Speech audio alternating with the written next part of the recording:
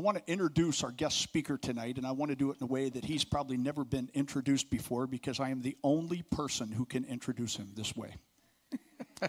now, they're amongst free Methodists, uh, we and Methodists in general. They're, we we are just in love with John Wesley. You know that.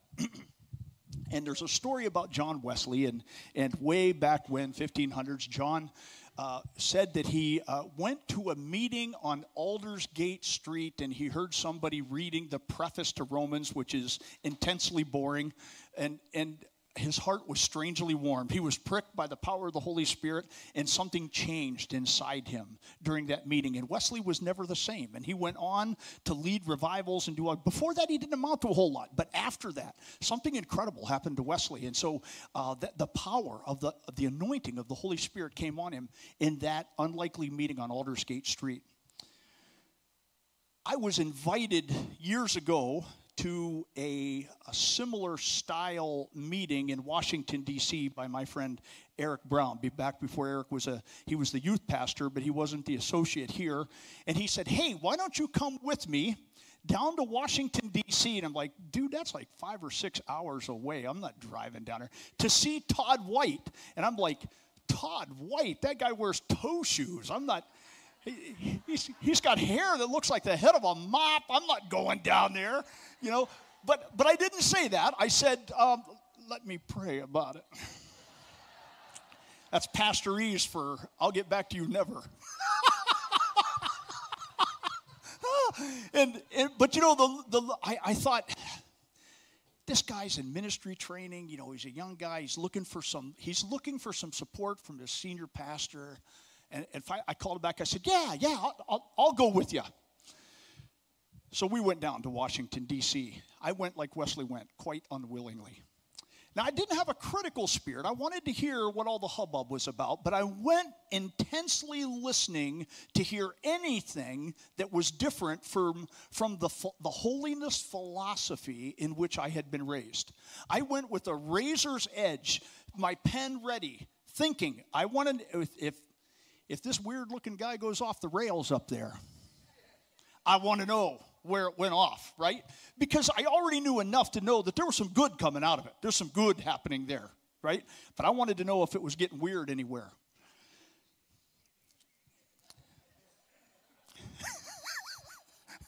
that sounds bad now, doesn't it, Dan? yeah, yeah.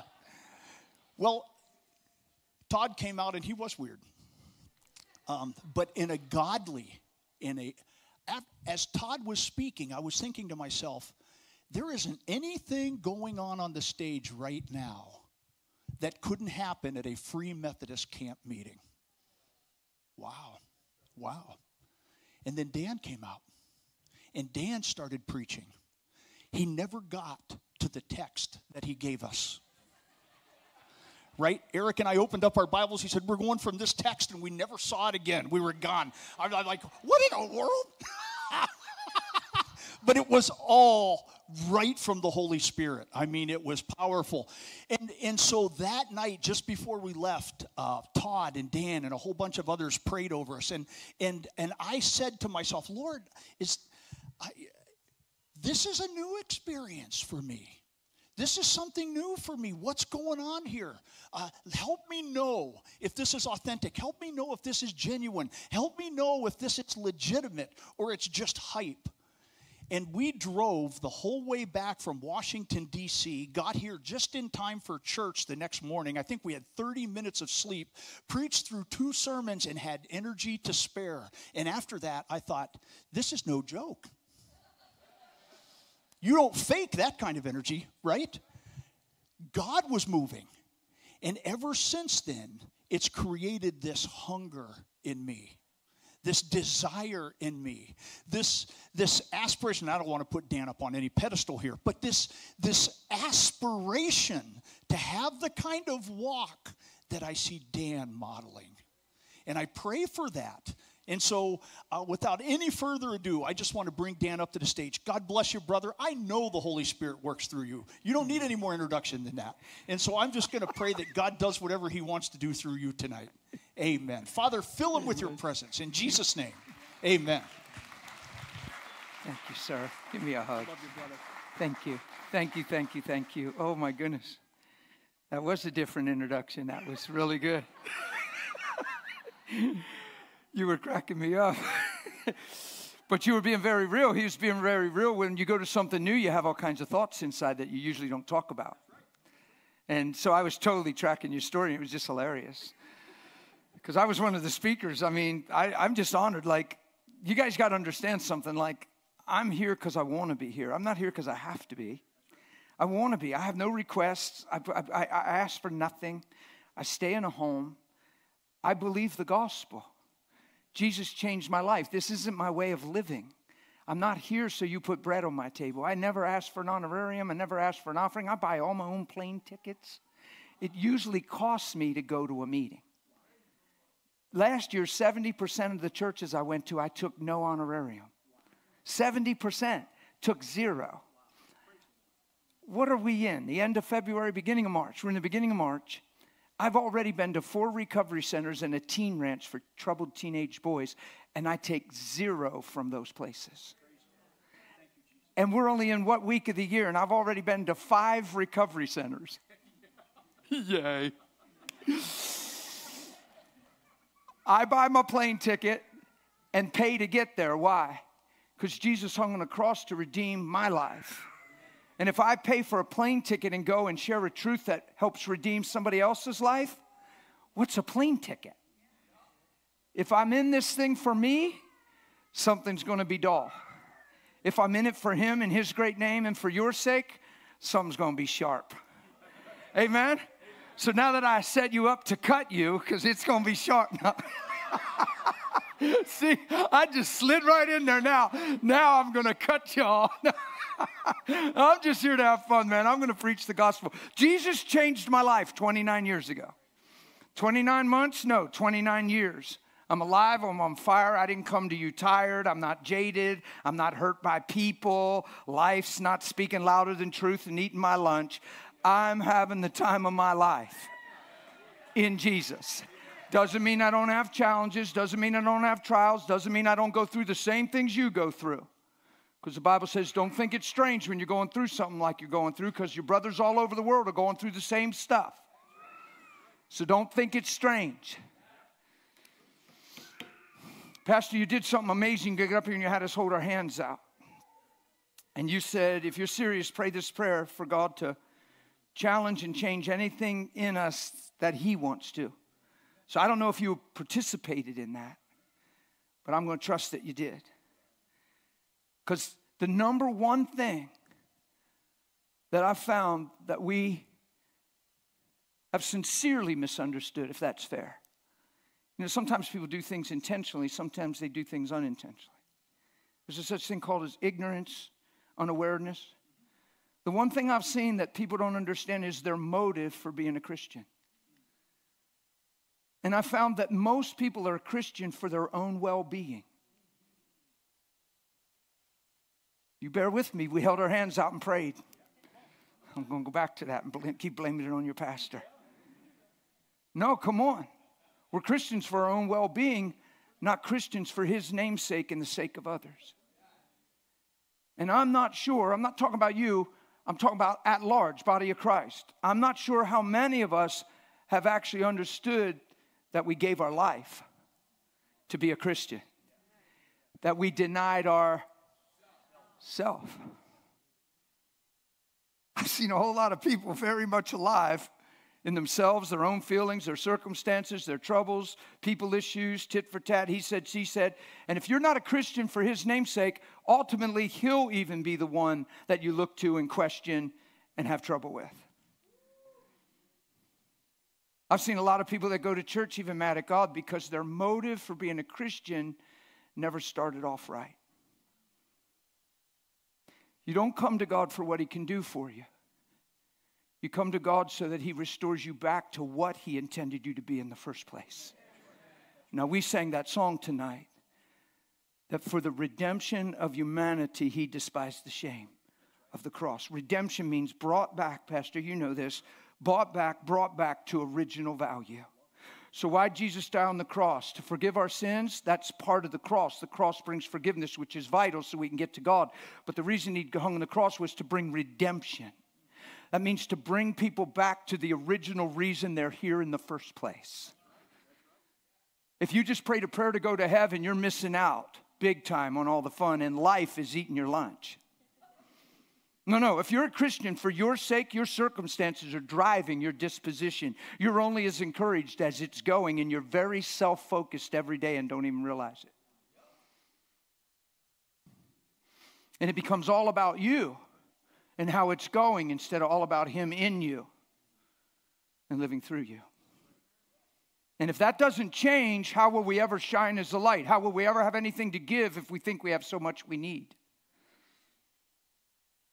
I'm going to say some strong things tonight. I feel it in my heart. Are y'all all ready? I'll smile the whole time. I'll be gentle, I'll be kind, I'll be sweet. No, no, no, listen. It has nothing to do with what I'm going through. The truth about me isn't found through my circumstances, it's found through Christ. Now I understand why I'm alive. I finally get it. For the last 29 years, I've understood why I'm alive. I understood why now I understand why He's inside me. I'm not waiting for a bell to ring so I can go to heaven. Heaven is on the inside of me. His spirit's on the inside of me. His ways are on the inside of me. Who He is is on the inside of me. So now I can walk in love. I can show mercy. I can make peace. I never again have to take account of a suffered wrong, and I can overcome evil with good. I actually became a light. and I'm going to let it shine. No, it's true. I can show you in the Gospel of Matthew where he says, You are the light of the world. Who's the light of the world? You are. Well, I thought you were, Jesus. Yeah, I am, and I'm in you, and I lit you up because he's the light of men. John 1. Now, watch this. You are the light of the world. Nobody lights a lamp and then puts a bushel over it and hides the light but instead puts it on a lampstand for all to see to light up the room. So therefore, let your light so shine before men. Why? That they see. You really can paraphrase it as this that they see the way you live. They see your good works. They see your response to life. And guess what they do? They glorify the Father. Oh. So, you shining a light, walking in an attitude like Christ is evangelistic. Do you know the Bible says that you already ought to all be ready to give an explanation for the hope you have in you? And when people ask you why you're living the way you live, you should be ready to tell them plain why you have this hope. My question is how many people have run up to us and been baffled and said, How do you live like you live? How many of us Christians have been approached by people inquiring why we carry so much hope?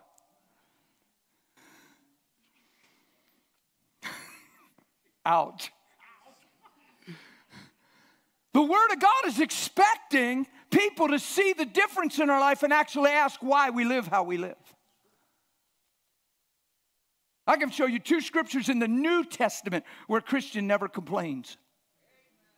I can show you in Hebrews chapter 12, verse 3, where it's not scriptural to be discouraged because it means you're thinking for yourself, not the kingdom. Matthew 6, seek ye, not second, not fourth, not eighth. Seek ye the and his and everything you'll ever need to walk out your life will be added unto you. Ain't that awesome? Now, I'm going to be real honest and raw with you. I'm not talking to you because I just met you. But in 29 years, I've met very few people that are living the way I'm talking, but I've met thousands that go to church. Now, I barely said that without crying. We got to learn why he died on that cross, people. He did not die on that cross to bless me. He died on that cross to transform me, and the transformation is the blessing. When I'm selfish, I'm very lonely. When I'm selfish, I can't produce a thing. And when I say selfish, I don't mean selfish in the raw evil sense of selfish. I just mean thinking for yourself more than you're thinking for his great name.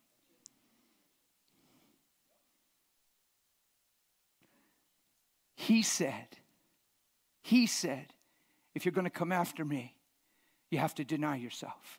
We say, if you die tonight and don't know where you're going, pray this prayer. He said, deny yourself. We say, pray a prayer. We make it about going to heaven. He said, pick up your cross and follow me. We make it about what we get from Him. He makes it about what we become because of Him. Let's not mix, mess the two up and mix it up. I grew up my whole life with the thought that all the gospel was was some mysterious move of God on the cross through his son to forgive me of the mess I always am and always will be. To forgive that and cover that so when I stand before him, the blood will speak on my behalf and I can go to heaven and live forever. That the cross was all about me going to heaven and living forever. It had nothing to do with me dying to my old and living to the new and becoming a changed man. And even when I was told I could be forgiven, I was left in the same state of sin, and I still always needed that same forgiveness. I could never change. Well, I'm telling you, after 29 years, and you can say I'm a heretic, you can say whatever, I'm going to take my 29 years of experiencing, stand before Him someday. Yay. I'm telling you, He's here to change our lives. So when you held out your hand and said, change anything in me, I'm saying let's go after motive because when I was standing, the first thing I heard the Spirit of God say, talk about their motive. Why are they Christians? Are you a Christian for benefit, for blessing, for protection, for provision? Because if that's what you are a Christian for, you'll have issues with God along the way. You'll be up when everything's going the way you hope, and you'll be down when it ain't working out. You even have issues with God and wonder why He isn't answering your prayer and what you're doing wrong in prayer and why are all these things happening to you. And you won't understand that you're an easy target because your motive is permitting things.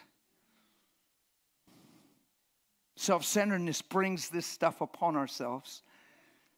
Jesus said, The ruler of this world cometh and he touches me not. Why? Because of his deity, because of his selflessness, because he came as a man empowered by the Holy Spirit. He was tempted at all points, yet without sin. So even temptation was there. Things were coming at Jesus like they come to us. He went through everything that we go through, only he went through clean and unfazed, right? And the ruler of this world cometh and has nothing in me. Why? Because he works with self centeredness, he can't touch selflessness. Now, here's what I'm getting to. Go to Genesis 1. You can look there in Genesis 1, verse 26. It said, Let us, let us make man in our image, in our own image. Verse 27, what happens one verse later? So God made Man in his own image, in his own likeness, he made them both male and female. Isn't that amazing, ladies? That your created value in the Bible is to be found in his image. It's not to serve the man. In fact, if we would get scripture straight and look at scripture, you're made with the same exact value and purpose as man is to walk in God's image. In fact, God loves you women so much, He didn't even bring you on the scene in Genesis until man was power packed with God. Man was naming animals. Man was walking in the authority God gave him. Man had the image and nature of God on the inside, and He said, It ain't good he be alone. Why? Because he's lonely? Cut me a break. He ain't lonely. He's filled with God. But he's in the same situation God was before he breathed into the dirt, because before God breathed into the dirt, where does God go with who he is? How does God multiply and manifest the beauty of who He is? Where does He go until He breathes into that dirt and makes a man in His image? He puts who He is in the man so the man could manifest who He is. That's why we have bodies. Image isn't what He looks like. He's a spirit. God is spirit. God doesn't have a head and arms and legs. He had to give Jesus one to come as a man, but God's a spirit. That's why we all look different. But we can all look like him. And then we get all caught up in the outward appearance, and life gets driven by what people look like and figures and genetics and I hate my nose and how'd I get these ears and come on. And we make all the emphasis on the outward instead of that quiet, beautiful inward person of the heart, which is pleasing in the sight of God. And women come under pressure at a very young age, and there's a standard set in life. And yet, God and image has nothing to do with appearance, it has to do with nature.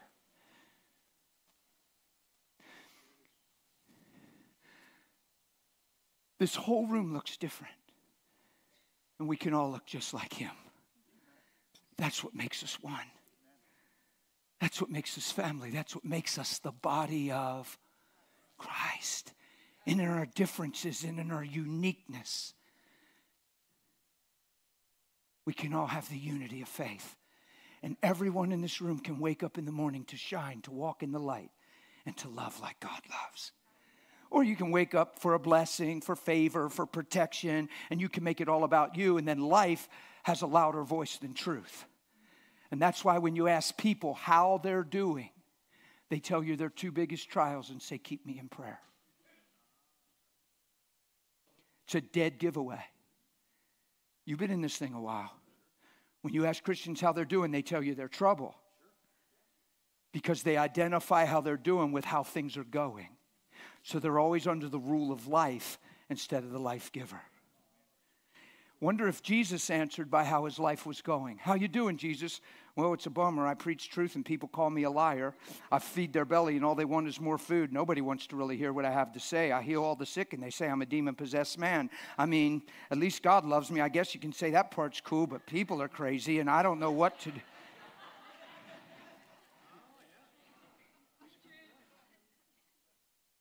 Do you get it? Jesus wasn't here to be loved by people. Jesus was here to love people. Why? Because he's loved by God. He's full. He's not needy. He doesn't need love. He doesn't need affirmation. He's affirmed. He's always been with the Father. He knows where he came from, he knows where he's going. He's not here for himself, he's here for us. So you can't hurt that. You can't discourage that. You can't shut that down. That's why love never fails. But now I know us, we've said, I love you a thousand times over, but our love has failed over and over and over. Now we're hurt, offended, can't get out of our mind, can't believe you said that. How do I trust again? I can't believe you did that to me. I'm hurt. But when I read my Bible, love takes no account of the and it never seeks it. And I bet we just don't understand. I bet we're not evil, we just don't understand. We've been trained by a lie, but the truth's come. But if we haven't really heard the truth, we'll still live by the lie. So now feelings matter, motives. Come on, brother, keep it real. How about keep it Christ? No, I get hit with this all the time with people. Well, you got to relate, brother. You got to keep it real. No, I got to keep it Christ. I'm not following us, I'm following Him. Not, it's not, yeah, but everybody has their moments. No, no, no. You can't find that in Jesus. I'm not damned to follow that. Everybody has their moments. That's why you have yours, because you have a grid for it. And then when you have it, you have no conviction because you expect it. So there can never be repentance or change. So now you're identified by life instead of the giver of life. And that standard of wisdom is way below the wisdom of God, which is Christ. Come on, I can find you scriptures that say a Christian never complains. All things, Philippians 2, thank you, sir. Do all things without grumbling and complaining. Why? So you can be seen by a twisted world that's living self centered that you can be seen by them as harmless, innocent. That means blameless people who are holding forth the word of life because they shine as lights. Ain't that something?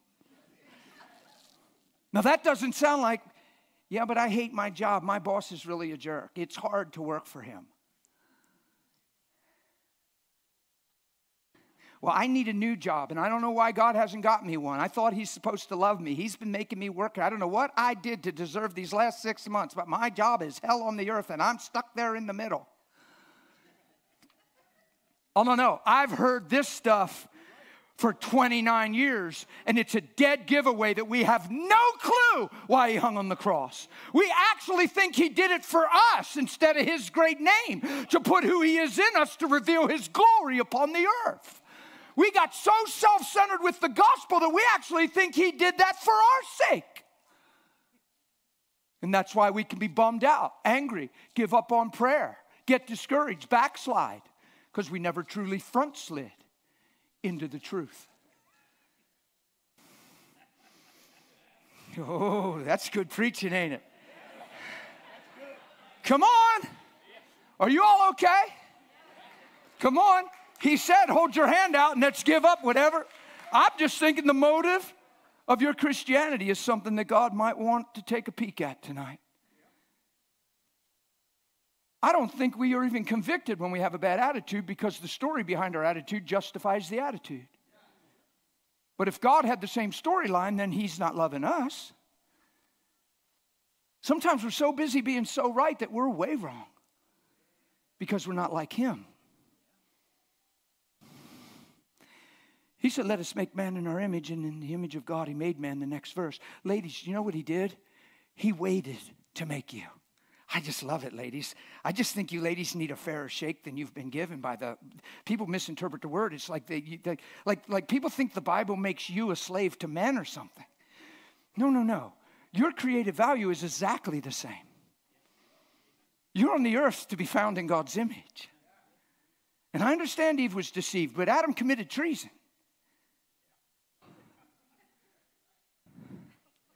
I understand it says, Wives, submit to your own husbands, but it says, as unto the Lord, and then the next four verses are to the husband. And somehow all we hear is, Wives, submit. And we think submit means bow down and serve, it means yield and adapt yourself. Oh, I did a little word study. It says, Wives, yield and adapt yourself to your own husband as you would to the Lord.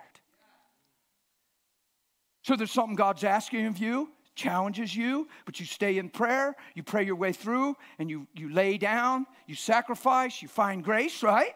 You're in your relationship, you're getting to know your husband more and more because now you're married, you're living together every day, 24 7, and all of a sudden you find yourself yielding, adapting to him. Little surprises, didn't quite see that in him for the first year, whatever.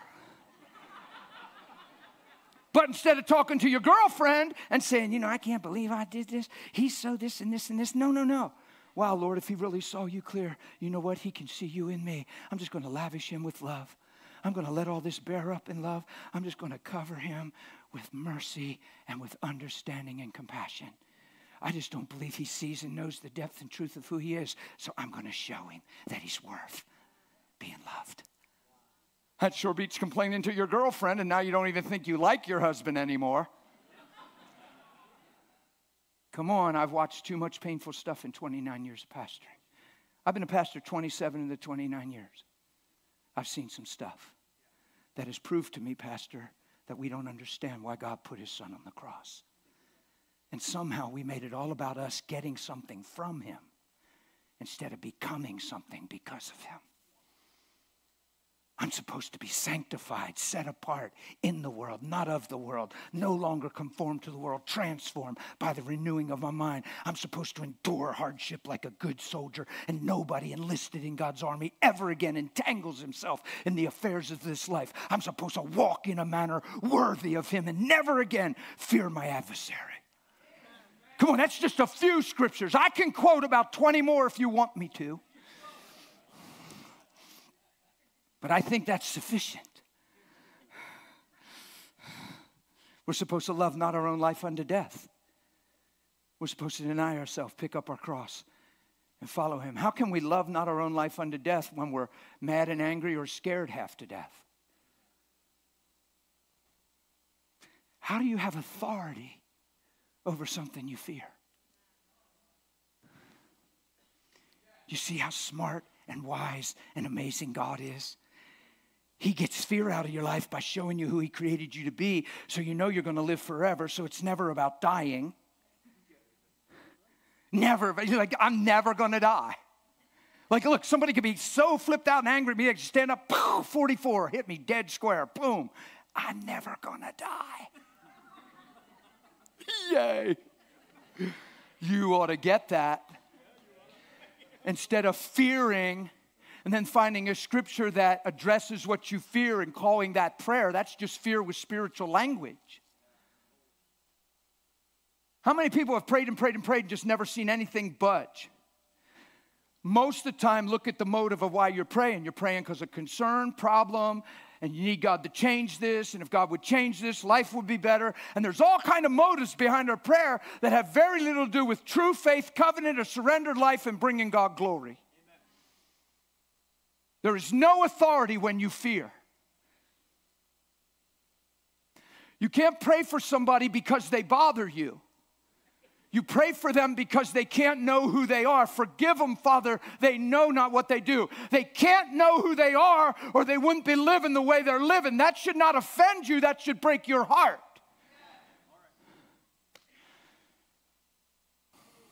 So we give up on each other, we leave each other, we hate each other.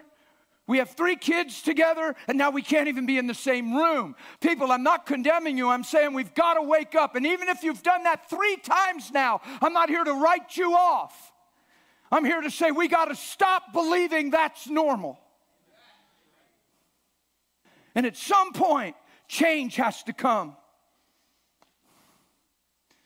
Are y'all with me? Listen, if you're sitting here divorced three times, you're not condemned by what I'm saying. Be challenged and put on change. And stop just blaming it on everything that doesn't work.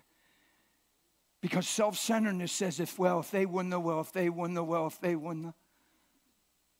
You do not see Jesus carrying the cross blaming anyone. And yet everyone was to blame.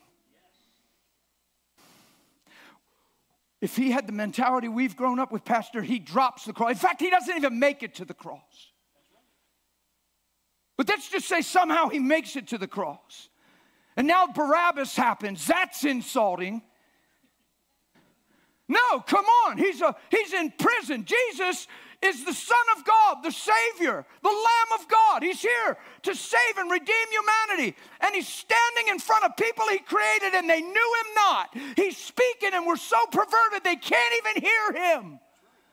They're so far from the truth that they can't even recognize the truth, so they kill the truth. And He's not offended. He let men hit Him and he did nothing wrong. When you, when you meant right and somebody called you right wrong in life, you freaked out to defend your motive. When you said something and they interpreted it for something you didn't mean, you got 10 times more passionate and 10 times more expressive. I didn't mean that. Oh, you know you meant that. You make me so mad. Every time you say that, you just say that because you know I wasn't even thinking it. Oh, okay. Am I that far off? And then you freak out to defend yourself. But every time you defend yourself, you give the right for everyone to become your judge. But if you just die to yourself, then you stand before the one that judges righteous. Just think what it would look like if Jesus is carrying the cross and had our mentality and it's just eating at him. And they're hitting him for doing nothing wrong. He's here because it's the most amazing expression of love the world has ever seen. Is he doing it just so I can be forgiven and go to heaven when I die? Or is he doing it so he can restore me back to why I'm here in the first place and put heaven back inside of me? Is he doing it so I can have relationship with the Father? We call eternal life a destiny. Jesus called it knowing the Father. That's relational. Jesus never made his motive heaven. You can't even find any scripture where he's making the motive heaven. It's always back to the Father.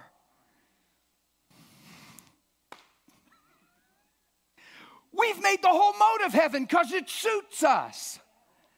People are becoming Christians so they don't go to hell. And then they wonder why their life is still a living hell. Oh, no, I've been around us 29 years. And I'm passionate. I want to save people and snatch them out of these lies because I don't think it's because we're evil. I think it's because we haven't understood. I'm going to nutshell this thing for you. What time is it? Five of eight. Are we? Oh, oh, I'll worry about it a little bit. No, you don't want to tell me not to worry about it, sir. I know that sounds spiritual, but that is the wrong thing to say to me. it's the wrong thing to say. it's the wrong thing, isn't it? yeah, thank you, Eric. let's, let's do this this way. So, God makes man in his image, both male and female. So, when he sees man in the image of God functioning, he looks at all the animals, they all have somebody comparable, right? They can all multiply and reproduce after their own kind. Where's man going to go with the glory of who he is? There's nowhere, to, there's no avenue for multiplication. So what's he do? That's where you all come in, women. Woo! You ain't a second thought. You ain't here to fill the gap of Adam's deficiency. And you're not here to scratch his itch. You're here to be loved by God through him and bring seed forth to the earth after its own kind.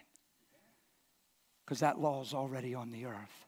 So he says, Let's make man in our image, both male and female. He tells Adam, Don't treat the tree of the knowledge of good and evil. The day you treat the tree is the day you surely die. So we all know the story. But let me get, just finish this thought with the women. He doesn't make another lump of clay when he makes women, he reaches into the fullness of God in the man. And he takes what was one and makes it two, so two could be one.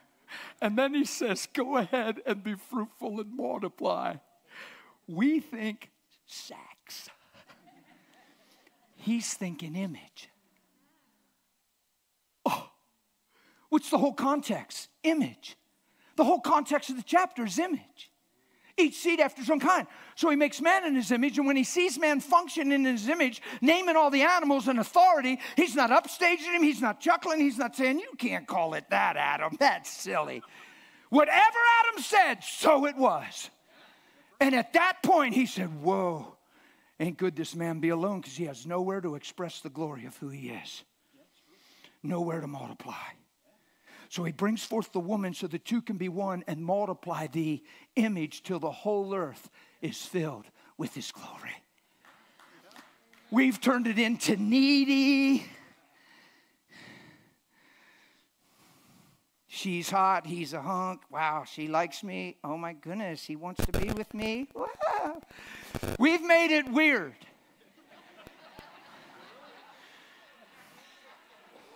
I've said this for 29 years. If there's a woman in a man's life, according to Scripture, it ought to be because of the fullness of God in the man. Not because he's needy and has needs and she's vulnerable. Because most of the time we say, I love you, it's an emotional expression of needs being met. And what we're saying is, I need you. This is working. Don't jump ship on me. Don't break my heart. My life is finally working. Don't mess this up. And instead of saying that, we say, I love you. And it feels good. But we're on the thinnest ice we've ever been on. Because as much as they're making us in a moment, they could absolutely shatter our whole world because we're saying it for us. How's that for being real? So, if God made man for his image and God isn't a head, arms, and legs, then what God make man for? God made man to love. Because God is so, the image of God, if it isn't facial features and torso and body and arm, then what is the image of God? It's who He is, not what He looks like. And God is love. Now, watch this. So, man was made to love, not need love. What happened? The day Adam ate the tree is the day he surely died. Did he eat the tree? Did he fall over dead? But God said, The day you eat the tree is the day you surely die. He didn't fall over dead. Well, God doesn't lie. Something had to die. What died? We all say spirit, his spirit. What we don't know what that means. It just sounds spiritual. yeah, people always say, well, his spirit died. No, no. The nature, the image died. who he was created to be was lost through sin. Why? Because he got separated from God because of sin and got cut off from the source of love and now became in need of love. So Adam didn't just sin, he took on the nature of God's enemy and started to multiply the fruit of the enemy instead of the nature of Father God to the degree that when Jesus came and was the truth and stood before his own, and nothing was made that wasn't made through him, yet he came to his own, and his own knew him not. And he wept with compassion, not frustration, because they were sheep without a shepherd. And he's the good shepherd. And he was here to lead the flock. And guess what they did? killed him. He raises from the dead, and his blood is still speaking better things. He's still saying, I love you. I want to live in you. I want to redeem you. I want to restore you.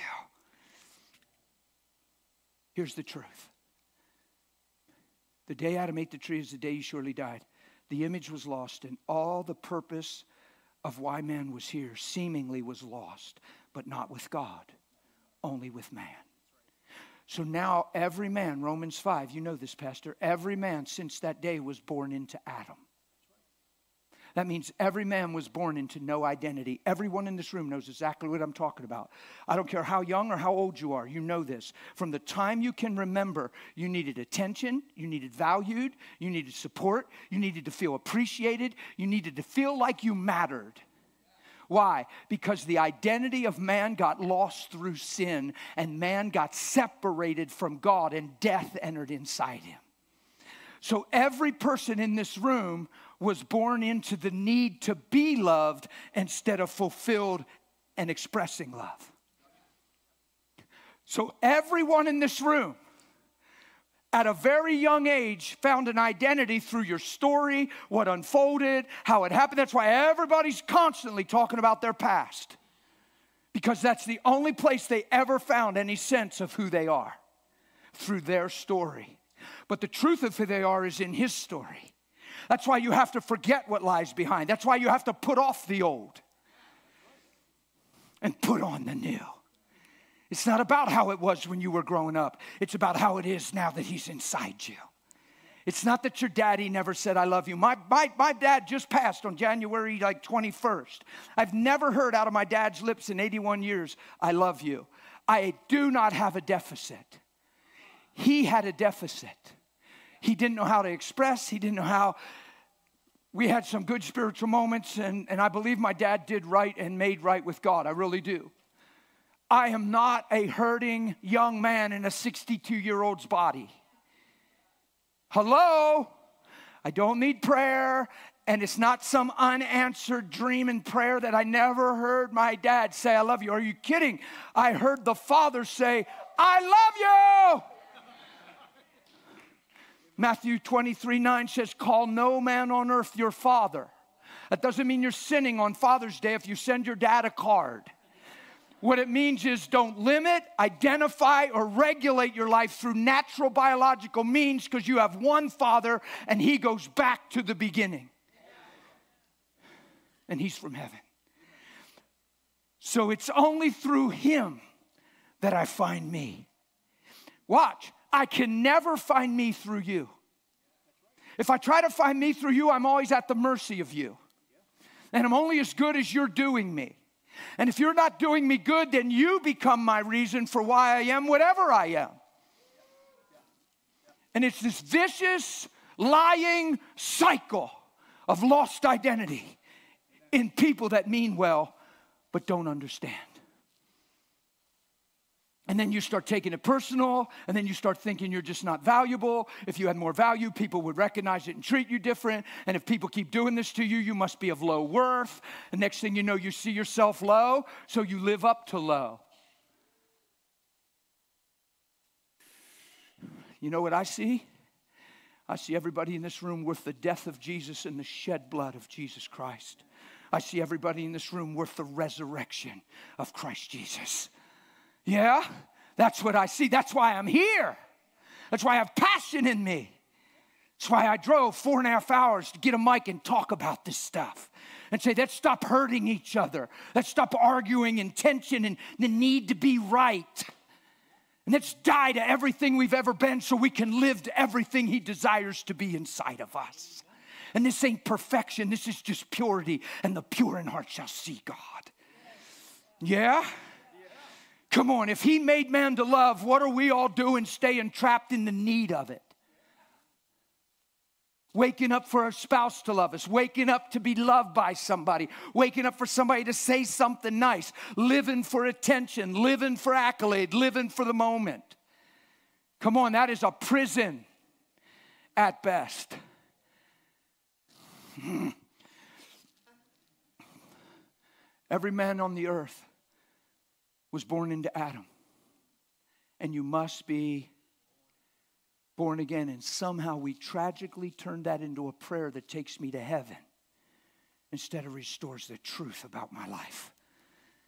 And we have just told people to try to get to heaven instead of get back to Him to see who you are so you can manifest Him all the days of your life. What else does deny yourself mean? What else does pick up your cross mean? What else does love not your own life mean?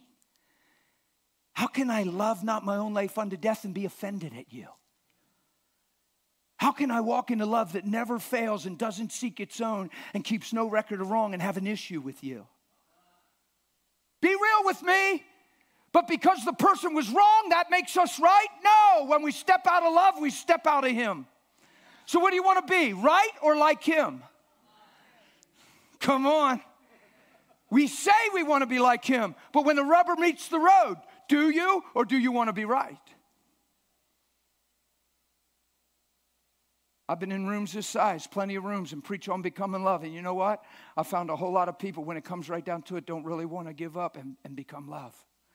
They hold on to the thing they inherited through the fall instead of the thing they were created for by God. I can show you so many scriptures. Romans 8, the middle of the chapter, says we've been predestined to be conformed to the image of his son. Who he predestined, he called. Who he called, he justified. Who he justified, he glorified. What shall we say to these things? If he be for us, who can be against us? For if God did not spare his own son, but delivered him up for us all, how shall he not freely give us all things through that same son? All things what? Full vats and barns? To be conformed to him.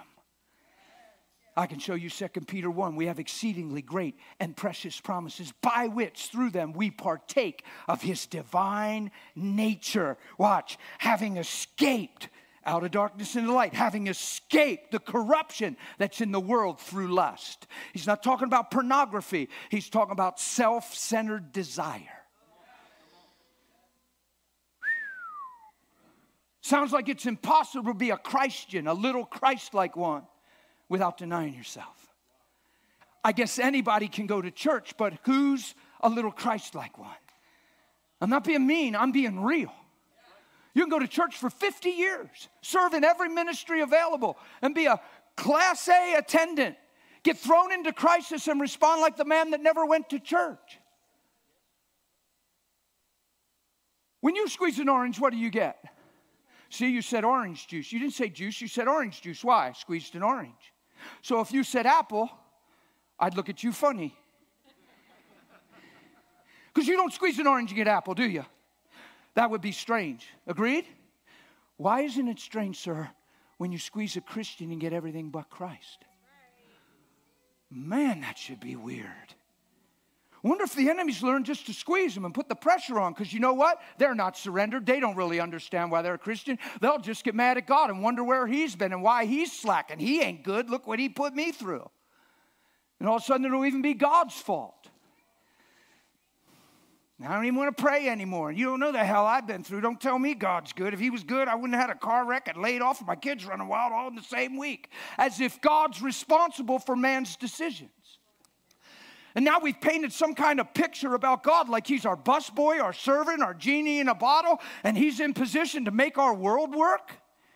No, He brought us into His world, and we're key players to manifest the glory of who He is. He said to Ezekiel, You know, my people got dispersed among the nations, and everywhere they went, no matter where they went, they profaned and misrepresented my name. But I'm going to bring them all back. I'm going to put a new heart in them, I'm going to put a new spirit in them. He said, I ain't going to do it for their sake, I'm going to do it for my great name.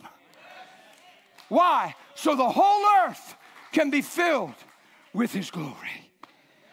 Look, I understand people do us wrong. I understand people do wrong. But if you get betrayed and live betrayed, then you don't understand what I'm preaching. Jesus was betrayed every day. Could you picture Jesus dropping the cross? Halfway to Golgotha and just saying, What am I doing? Am I a fool? Look what I've let these men do to me. They released Barabbas, God. I know I'm here and I'm the lamb slain before, but enough is enough. I mean, where do we draw the line?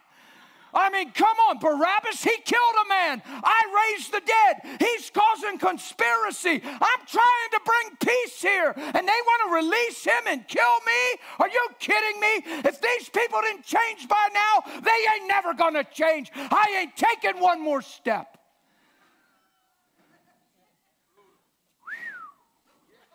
Well, that's straight, ain't it? We'd all understand that if it was us. It sounds silly because it's Him, because we know Him better, but we were made for His image.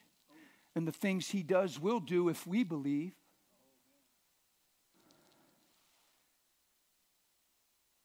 So, why isn't it silly when we talk like that? Because we've been trained by a lie and we've been homeschooled in the wrong home. And the wisdom of the world has taught every man how to fend for himself. And Jesus said, You will never follow me if you don't deny that one right yourself. We don't preach the gospel that way. We say, if you die tonight and don't know where you're going, pray this prayer. I'm not against men praying a prayer to get saved. I'm against not giving them the truth of why they're getting saved. You can't just say, pray this prayer so you can go to heaven. He has to become Lord, and you die to everything you've ever been so who He is can live in you. No, this is the truth. We're the lights in the world, people. We can't get through the week. How are we going to impact the world? If we can't get past our obstinate relative, if we're dreading Thanksgiving, be real. You know why we're all chuckling? Because it's not far from the truth. And then our prayers are God, I hope she doesn't show up, and God, I hope he's different.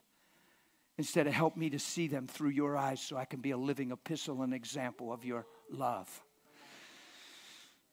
Come on. See, I don't ever wake up for my wife to love me. Makes my marriage amazing. 29 years. She's not she couldn't she couldn't bring me into animosity. Because I see this thing now, Eric. I understand why I'm alive. Mercy gave me another day to be more like Him. I don't wake up for her to love me, I wake up to be like Him. That changes the game. I wake up to shine. That's why all these years, people that have known me all these years, I'm this aggressive all these years. I'm probably worse than I ever was because I know more than I knew then. If you ever see me again, I might be a little worse because I might know him just a little bit more. But what a free day that is when you wake up and nobody owes you a thing. And your identity is established in Christ, and nobody can take anything from you. They can only cheer you on. That's why I've been aggressively okay for a long time. and it's not because I've been done right. And who's keeping a record anyway? Because love keeps no record. Are you with me? God made man for his image. His image is love. The whole goal of the Christian life is becoming love, not going to heaven. The cross is not paid in full when a man prays a prayer to go to heaven. It's when his nature is restored back to love. That's when the dividends of the cross are revealed to God. What does it matter if people's names are in a book called life and they're not walking in love? And they're not shining as lights and they have adversity and animosity in the own body and the only own house of God. How are we impacting the world if we can't even love one another? Jesus said, when they become one like we're one, then the world will know.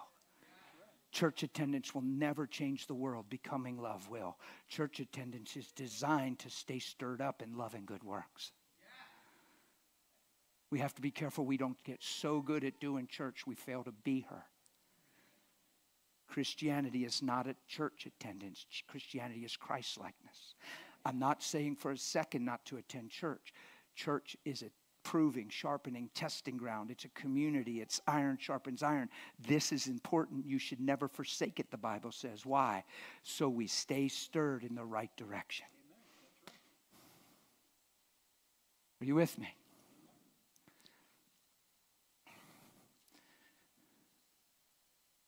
So I hope we were serious when we asked God to go after anything He wanted. Because when Pastor had us do that, I went, oh, man, what a prayer. And as soon as he did, I heard motive. And I heard to talk about our motive. You have to ask yourself tonight why am I a Christian? Am I a Christian because it's right, because I should be, because I'm scared, because I don't want to go to hell, because I want God to bless, protect, and provide? Or am I a Christian so his life lives in me? And this light gets lit and stays lit. And whether I'm done right or whether I'm done wrong, you're going to see him. Because love covers a multitude of sin. Mercy triumphs over what men deserve. And love doesn't seek its own, and therefore it never fails. And the greatest of these is 1 Timothy 1 5 says this the goal of our instruction or the end of the commandment, the purpose of the commandment is love. People, I'm convinced of this after years and years of preaching. I say it emphatically with cameras running, not afraid of how people criticize me. If we fail to become love, we fail to miss the whole point of why Jesus died on the cross. It's a restoration back to his image. I can show you Colossians 3. Why don't you look there quick so somebody that says he didn't even open his Bible won't, won't be able to say that.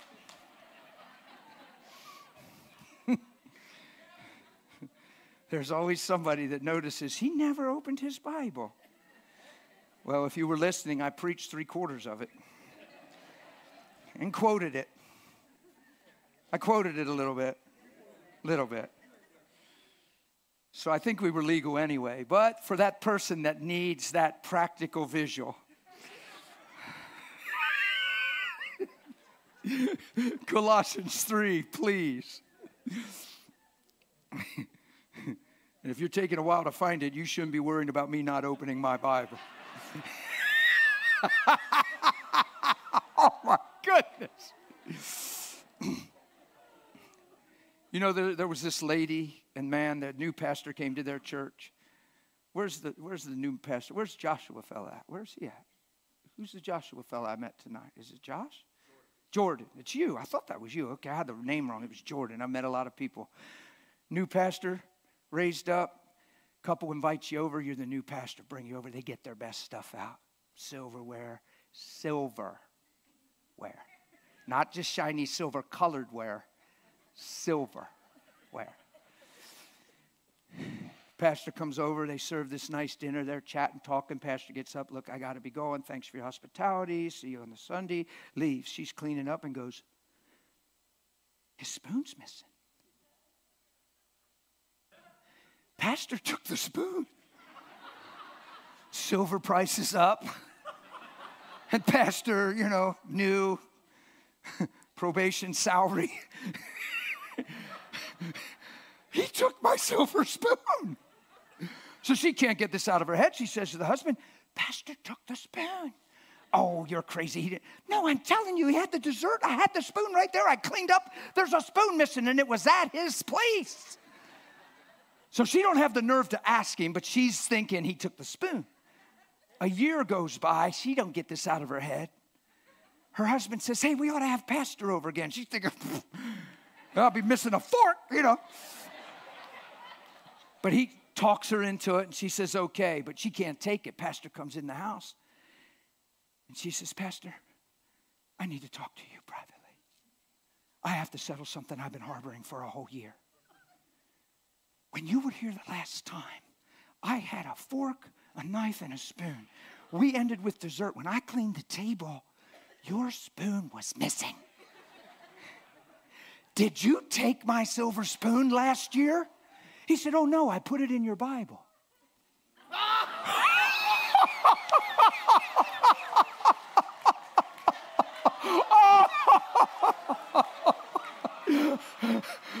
Oops.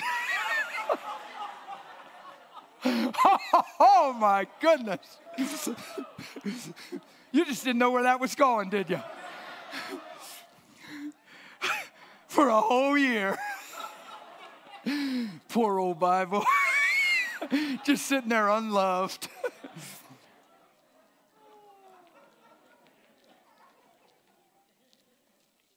what a wise pastor.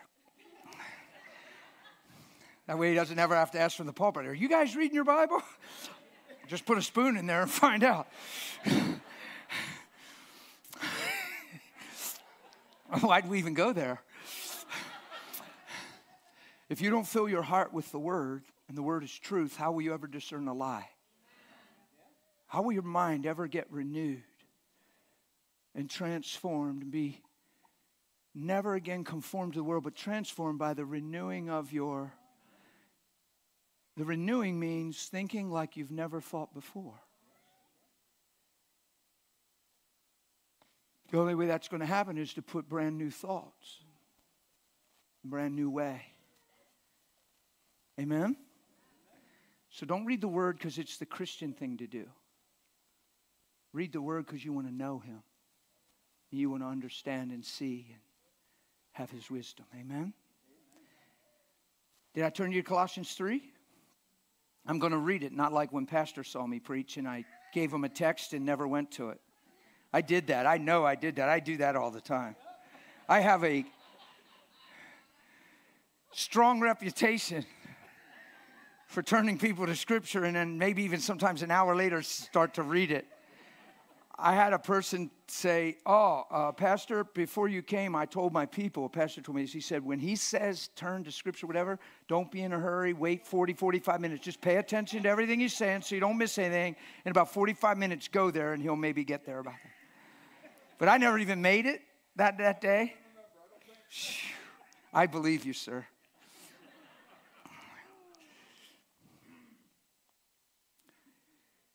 I do colors in my Bible. What's the most color you see there? It's well, it's actually it's a purple, but I can tell I can see why you would think it's pink, but it's it's a purple. It's a colored pencil, but it's purple, but it's predominantly the the the, the main color you see, right? I'm old fashioned. I know you guys have technology you can hit and it'll all do it on the computer for you. I just like to sit down with pens and read and do my coloring. I'm just that way. To do the whole New Testament in purple, I mean, to do the whole New Testament, it takes me about three, two and two thirds of a purple pencil. I barely go through one on any other color.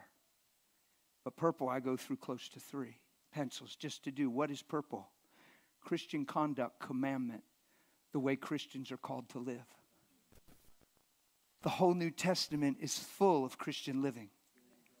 So if I was just praying a prayer to go to heaven, why is there two and two thirds colored pencils worth of commandments and Christian living and conduct in my Bible? You get it? This thing is about the life we live because that's what men see. That's the, the greatest tool of evangelism you'll ever have is living Christ, not talking about Him. Parents, listen carefully. This is not condemning, it's just sobering. It's not condemning. If you take your children to church, some people get pregnant, they don't even go to church, but when they become a mother, they get this instinct like, my baby needs to grow up in church. Who's ever heard that? Who's felt that way in here? You're like, you're like, okay, I have children now. I need to get to church and be more diligent and get my kids to church so they can grow up in church. That's what we feel. Watch this. If, if what you do is take your children to church because it's the right thing to do, but you're not pursuing Christ outside of church, you're sending your children a message without even realizing it that Christianity is church attendance, not Christ likeness. And then you're teaching them the way it is at home is reality, but at least we go to church. But this is real life. But it ain't Jesus' life. You want your children to see Christ. And if you've not done a job modeling that, don't you be condemned at these words. Just go, oops, and start now. And get convicted and pray that into your life. It's not about failing, it's about becoming. And wonder if our children need to see humility and repentance and change. I wonder if our children would be benefited by it and say, You've really been different in the last. I remember, Daddy, when, well, Daddy had some real turnaround. Let me talk to you about it. Remember how we used to just go church? I didn't have it. And then all of a sudden, you can impart a truth that's backed by your life, that was brought up by your child because they see it. Yep. That sounds powerful. That's how I've evangelized my children and my family. My wife went into identity crisis for eight years. She compared herself to me. She believed people said hi to her because she was my wife, not because they cared about her. And she had some insecurities and some needs that she wasn't letting the gospel heal. And she went into this dark place of introversion and, and condemnation. And the more she pulled away, the easier it was to stay in there, even though it was torment. And people would call her to check on her, and she'd say, They're only calling me because I'm so messed up. I had no connection with her. I'm preaching on identity, I'm pastoring, I'm full time, and she won't even come to church towards the end. I'm not a man with a problem when that's happening. My wife's in trouble. Even if I knew this pastor, I'm not calling him saying, Pastor, we need a breakthrough. If God doesn't change her soon, I can't hold on much longer. I got so much on my plate. I mean, a guy can only hold on so long, right, Pastor? I mean, I've been doing my best, but I'm about ready to break here. And if God don't change her soon, God doesn't change her because I'm ready to break. God changes her because He loves her. Amen. And there's no time for me to break when I'm walking in Christ. Amen. Because I'm not waking up for her to love me. That's right. yeah. You get it? So, what she need most? Jesus. Where's he live? So now ain't the time to be a frustrated husband. Oh, relationships are? It's called love. You see how powerful marriage is? It's called I love you. Not I need you. You're cutting me short. Come on, it's convicting. I was pastoring. Both my children ran wild at the same time my wife was doing that. It looked like I couldn't even be a steward of my home. It looked like I had no clue. It looked like my home was blown up, man. My kids were both running wild at the same time because they saw what mom was going through. They said to me, Is our mom crazy? Do we have a cuckoo for a mom? I said, Pray for your mom. Don't criticize her. And they both ran off in their flesh and tested out their flesh. And everybody took an eight year sabbatical from truth, except for dad. Why? Because I woke up every day to be like him. And one day I felt a little sorry for myself. I sat in the bed. I said, You know, I feel like I can't even hug my own kids. The Lord didn't even hesitate. He said, So hug everybody else's. he didn't even give me a chance to get sentimental. Come on. So hug everybody else's. I can't even hardly preach this stuff in an American church. Watch what he said. And don't think for a second your neighbor's children have less value than yours. Amen. They're all the same to me. You know how we feel sorry for ourselves? And all it is is need. We need our kids to want us. We need our kids to love us. And we find our identity and value even through our children. Instead of see our highest priority is to manifest Christ to our children, not need them, manifest Christ. That's the highest sense of love. So, what do you do? You don't waver. So, when my child comes back, and both my children, my wife, my family is solid. My, everybody's solid today. Solid. Yeah, my son's preaching in Georgia right now. My daughter's married to a great Christian guy. My wife, you would want her to pray for you. She's as sensitive and loving and compassionate as anyone I know. And there was a season for eight years where she didn't even want to live because of lies. And if I'm needy, I buy into the lie. Next thing you know, well, I can't live like this forever. Well, Jesus might have waited for you longer than eight years.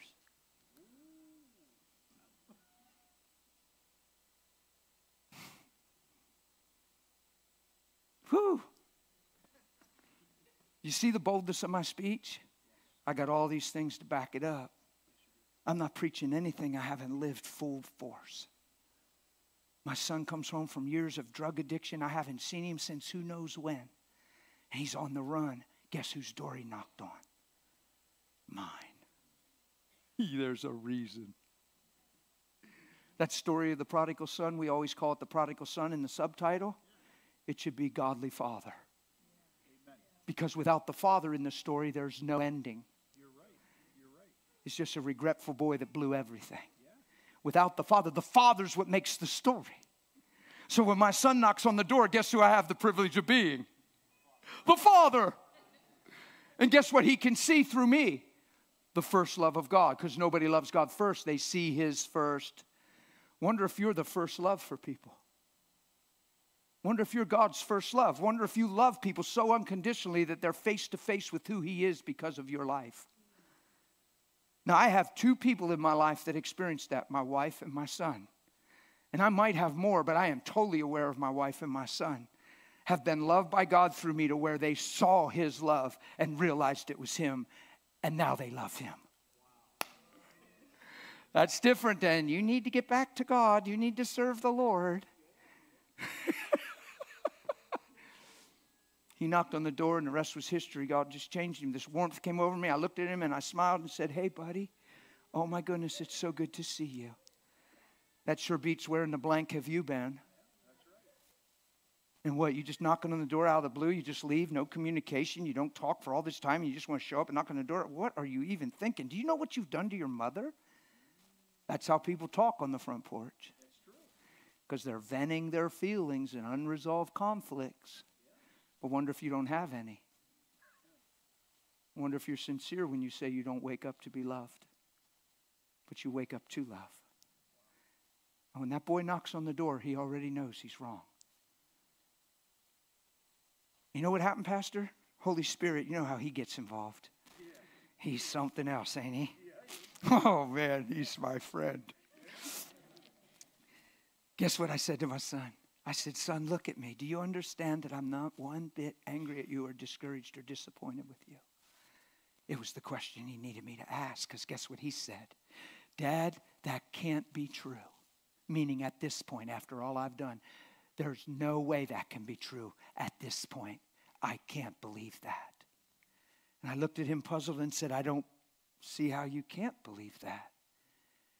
We didn't have you so you live your life for us. You don't owe me a thing, son. If I cry one tear ever, it's because you're so much more than what you're living.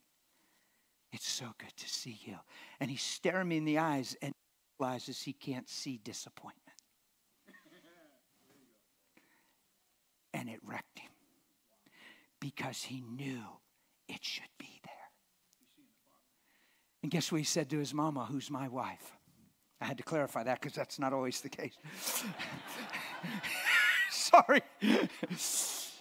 he said, Mom, I got so loved by God, by God through dad. I'll never be the same. He said, Mom, I've heard dad preach this stuff my whole life. But I gave him every reason to be something else. And mom, he doesn't know anything else. you want that testimony. Because guess what that did for him? Saved his life. You get it? So now it ain't just theory and precept and theology in a young man's mind. He gave me every reason to be something else. And all he found in me is what he's heard me preach all this time. So he wrote me a handwritten letter two years later and said, Dad, I want to thank you for giving me the best gift a dad could ever give his son. You showed me what Jesus looks like in a man in every situation. I know what mom, me, and sis put you in the middle of. And dad, you never changed. Thank you for the greatest gift. oh! That sure beats being hurt, feeling sorry for yourself. What did I do wrong? Where did I go wrong as a parent? Willful, stinking, selfish children. I don't see any life in that arena. I ain't never seen anybody having the time of their life at a self centered, sorrowful party.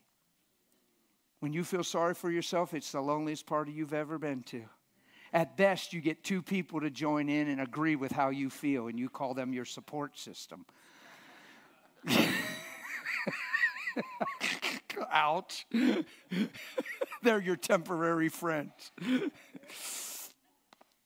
I got to close. Colossians 3 would be good.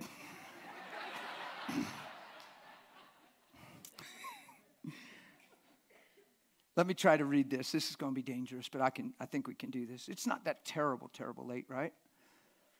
I mean, I drove four and a half hours. You ought to let me preach that long.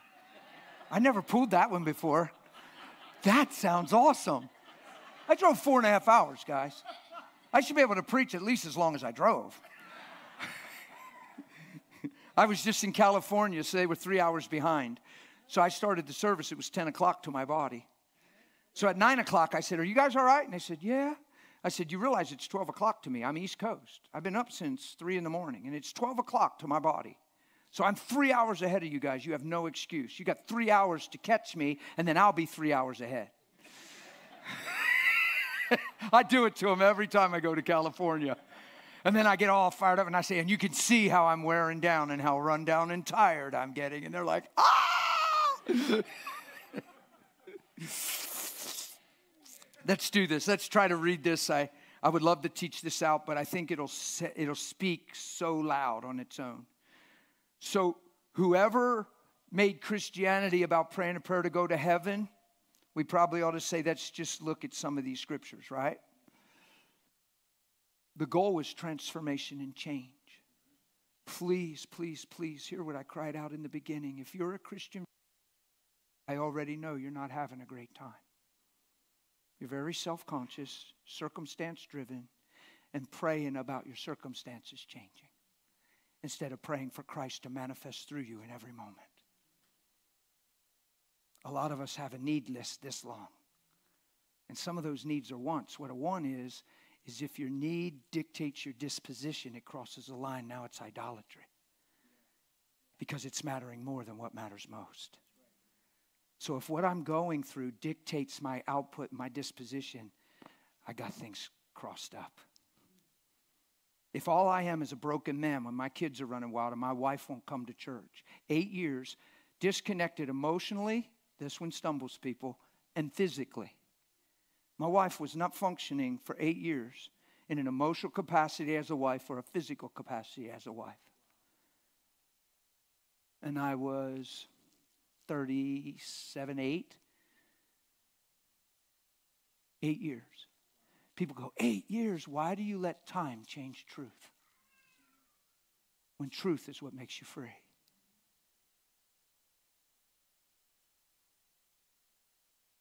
To know the love of Christ is to be filled with all the fullness of God. I am not a lacking man. And my wife is not on the earth to scratch some itch I have. My wife is on the earth so I can love her with the Christ that's in me. Not demand of her and need her and put expectations on her, but actually value her and love her like Christ loves the church. I found all that in my Bible, Pastor. Back to Colossians. since you since you were all raised with Christ. That word if means since. He's not challenging your salvation. He's not saying if you're saved. He's saying if or since you were all raised with Christ. Now watch this. See this we did not pray a prayer to go to heaven. Watch this. Seek those things which are above where Christ is sitting at the right hand of God. Set your mind on things above. So he hits that twice in two verses, not the things of the earth. Why? For you died. Uh oh. And your life is hidden with Christ in God. And when Christ, who is our life, appears, we're going to appear with him in glory. Nobody ever taught me this growing up. Nobody ever preached this from a pulpit. Nobody ever told me that Jesus died on the cross to put his life in me, to transform me, and to get me back to what he intended me to be. Man was never made for himself, man was made for God's image. Yeah? And it's totally, look, if you put metal in a microwave, does that work? What will you do to the microwave? Woo-hoo. You ever do it by accident? You ever leave foil or a fork on a plate and hit the button and wow! And if you keep putting metal in a microwave, what would you do to the microwave? You blow it up. You would literally burn it up and blow it up. Why? The way that thing scientifically works in the waves, it just doesn't work with metal. Read the manufacturer's handbook.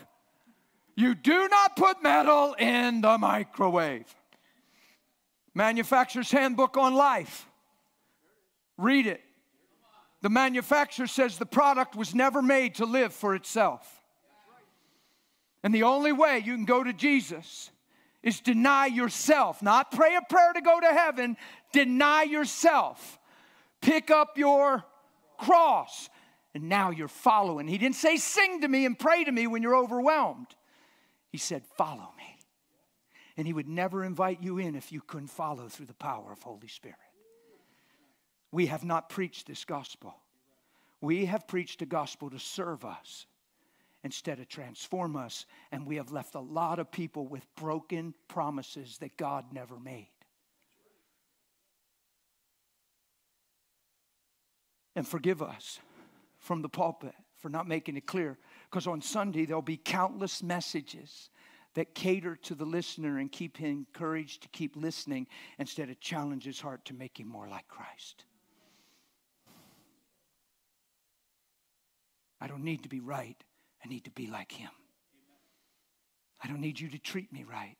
I need to be like Him. Yeah? So when Christ, who is our life, appears, we're going to appear with Him in glory. Therefore, because this is true, put to death, don't moderate, balance, self control, put to death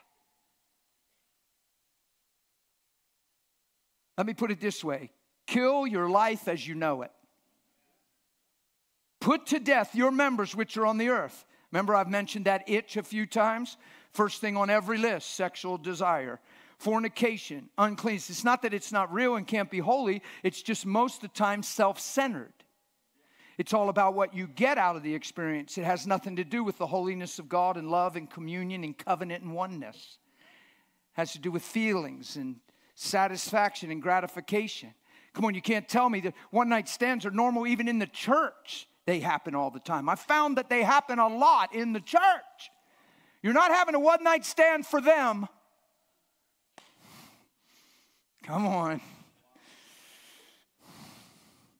Therefore, put to death your members which are on the earth fornication, uncleanness, passion, evil desire covetousness, it's all idolatry. The simple definition for idolatry is making something matter more than what matters most. Because of these things, the wrath of God is coming to the sons of disobedience. That means those who continue to live this way without any thought of changing, right? Why don't you look down on them? Because you and me lived this way at one point when we acted this way. So that should produce humility in us. Nobody's exempt. We've all sinned and fallen short of the glory of God. We've all needed mercy. We've all needed forgiveness. We've all needed the blood of Jesus. There's no hot shot, there's no low life. There's just a bunch of people that need God's mercy. And because we obtain mercy, we should be merciful. Because we've been forgiven, we should be forgiving. Because we've been loved, man, we ought to love. Right? So, we lived this way at one point, but now you yourselves, you yourselves, this isn't an altar call. It's not some kind of deliverance. Watch this. You yourselves are to put off these things, not control them. The world calls it anger management program. Control your anger. That should be hypocrisy to the church. So we're working hand in hand. There's some things that just rub me wrong about this guy, you know, in time. Oh, but I am so disciplined and mature. Rather than give him a piece of my little mind, I harness it. Because I'm mature and I manage it. But when I look at you, it's there, buddy. but I'm so good at it, he doesn't even know it's there. Yeah. Isn't that weird? Yeah, that is hypocrisy. That's hypocrisy. Yeah. Anger management should be hypocrisy and alarming to the church. It means I feel a certain way towards you, I just don't express it because I'm mature.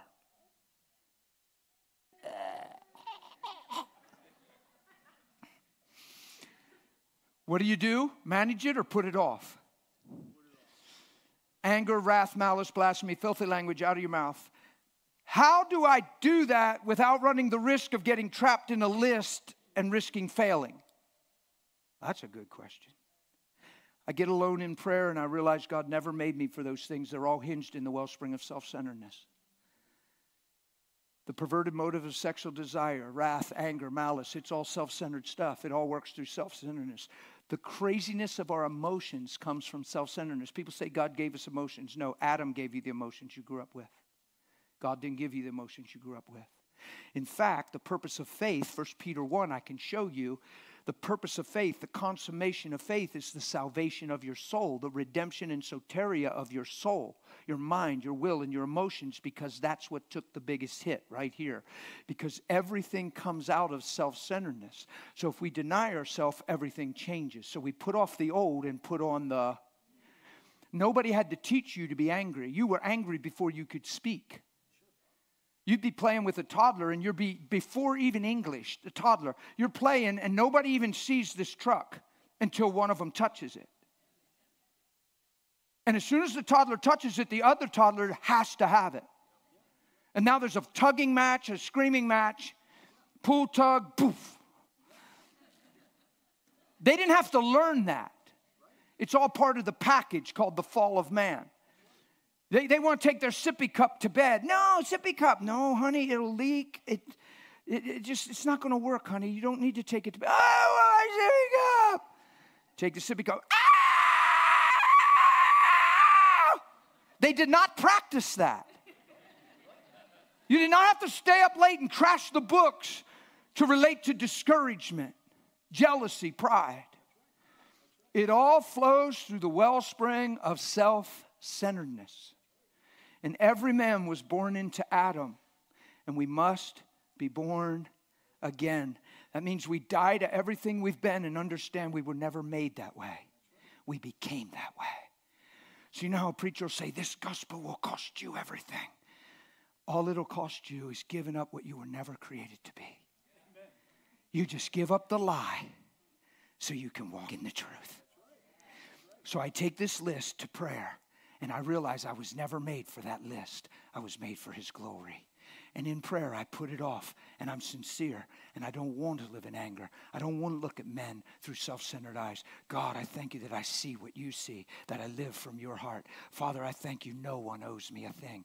God, I thank you even my wife is on the earth for me to love her as a husband the same way you love your church. God, thank you. And you're just in prayer and you're putting off and you're putting on.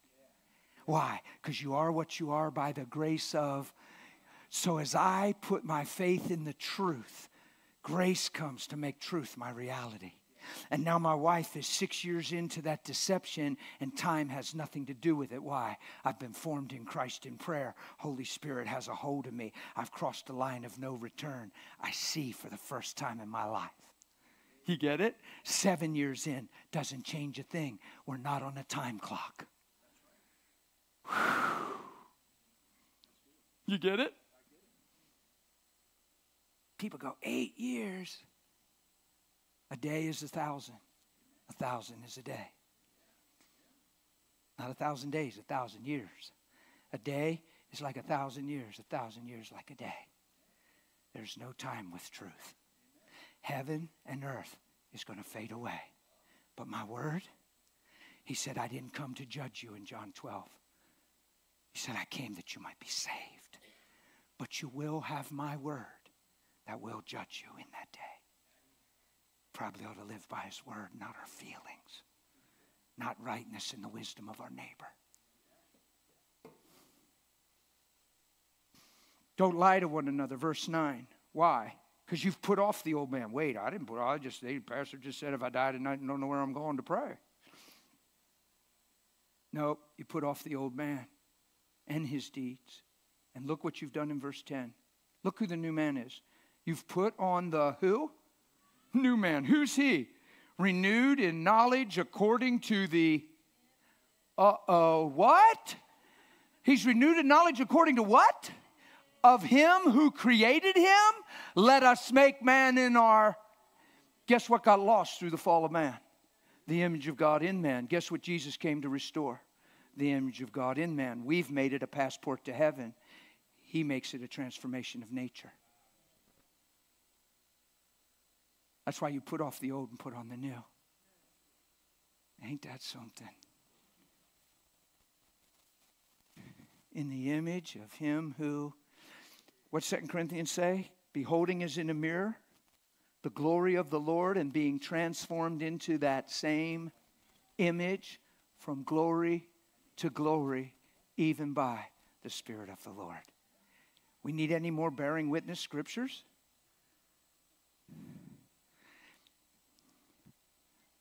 Jesus said, When you see me, you see the. And he told us to follow him, and the things he does will do. Which means when people see us, they're supposed to see the. Why? Because he brought us back to the Father. Do you guys understand that Isaiah 42, uh, 52 makes it real clear that Jesus was beat beyond description. That when they were done flogging and beating Jesus, he was marred more than any of the sons of men. You can't miss this stuff in your Bible, or it'll just be an Easter story to you and a suffering Savior instead of a radical truth that's life changing. Marred more than any of the sons of men. How barbaric have people been and sadistic to people? Have they set people on fire? Have they burned people on poles? Okay. In the Christian day, they'd call them Christian candles. They, true story, they would soak them with oil and then light their toes. Now, you tell me when the fire goes out if you can tell if that's Billy, Joan, Henry, or Nancy. You couldn't tell their gender, let alone who they were. Agreed? He was marred more than any of the sons of men. Do you agree that people have done things to people that left them unrecognizable? And then Jesus was marred even more. Why? Why wasn't it just 39 stripes and some stakes in the hand and feet? Why was he beat beyond description and made unrecognizable? Because when sin got done with Adam in the garden, he didn't look anything like he was created to be. He lost his appearance. So Jesus came and lost his appearance to parallel and pay the price for us to get back the image. Whew. Nobody ever taught me that at VBS. They just taught me to be a good boy and gave me the idea that I wasn't going to be. And try not to sin too much, but we all sin. And gave me this lame understanding and this crisscrossed identity that even if my heart wanted to change, I had no power to change. Hmm. Boy, I got the power to change now, baby. Why? Because I can wrap faith around truth and grace comes to make it mine. Yeah? And I am what I am by the. So, guess who gets all the glory? And there's no super Christian just people that believe. So who gets all the glory? Oh! You get it? Don't lie to one another because you put off the old man and his deeds and you put on the new man who's renewed in knowledge according to the image of him who created him. Where there's neither Greek nor Jew, circumcised, uncircumcised, barbarian, Scythian, slave, or free, but Christ is in all, it is all, and in all. Now, watch this. Therefore, as the elect of God, isn't that amazing? holy and beloved. People are, oh, ain't nothing holy about me. You've been made holy, blameless, and above reproach in His sight if you believe it. The blood of Jesus has washed you and cleansed you of all unrighteousness and forgiven you of all sin. So you've been washed clean and made to stand in the presence of God as if you've never sinned and you're not guilty. And yet people live guilty, have a hard time getting in the presence of God, have their face veiled when it should be unveiled, and with boldness come to the throne of grace. Not arrogance, not presumption, confidence. Why? Because while we were yet sinners, He sent His Son. He made Him who knew no sin to be sin. He didn't curse His Son on the cross, He cursed sin in the flesh. And sin shall have no dominion over us. For the law of the Spirit of life through Christ has made us free from the law of sin and death.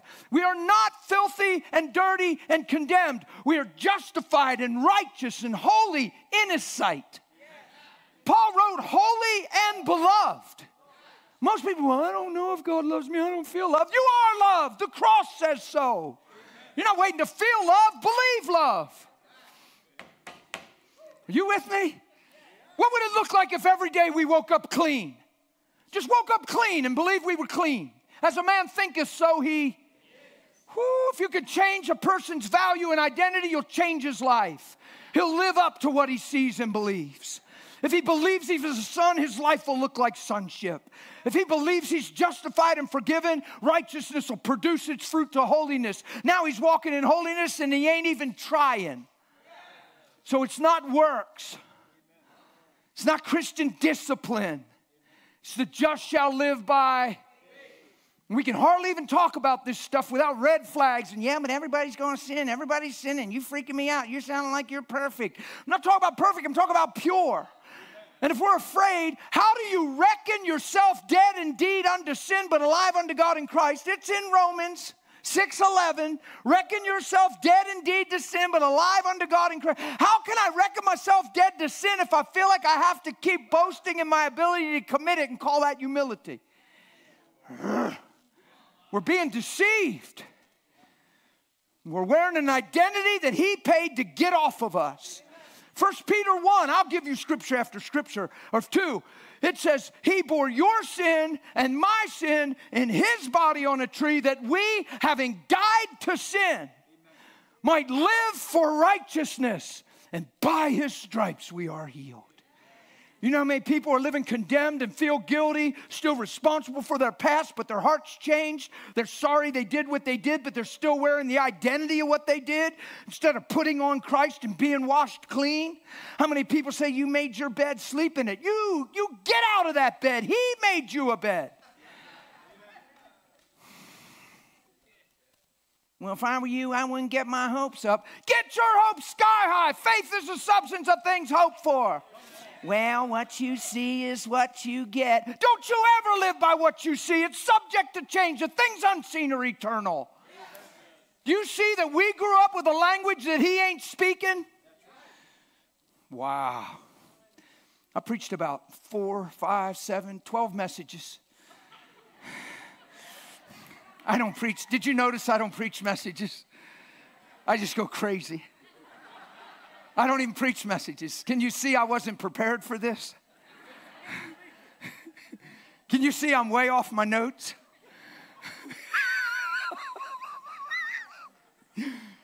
Can you see I filled my heart with the word? That I'm possessed by the word? You ought to be. My sheep hear and obey my voice. He didn't say, He said, in a stranger's voice, you will not. He didn't say you won't hear it. My sheep, when you know you belong, his voice is crystal clear. And the enemy's is strange. When you're not sure you belong, the enemy sounds rational. And all of a sudden you're believing lies and you're still sitting on your past and you still feel unworthy and you're still taking responsibility for something you've been sorry for for five years. My sheep hear and obey my voice. And as strangers, they won't follow. He didn't say you won't hear it. You'll hear it often, actually. Recollection, memory, flashbacks, familiarity.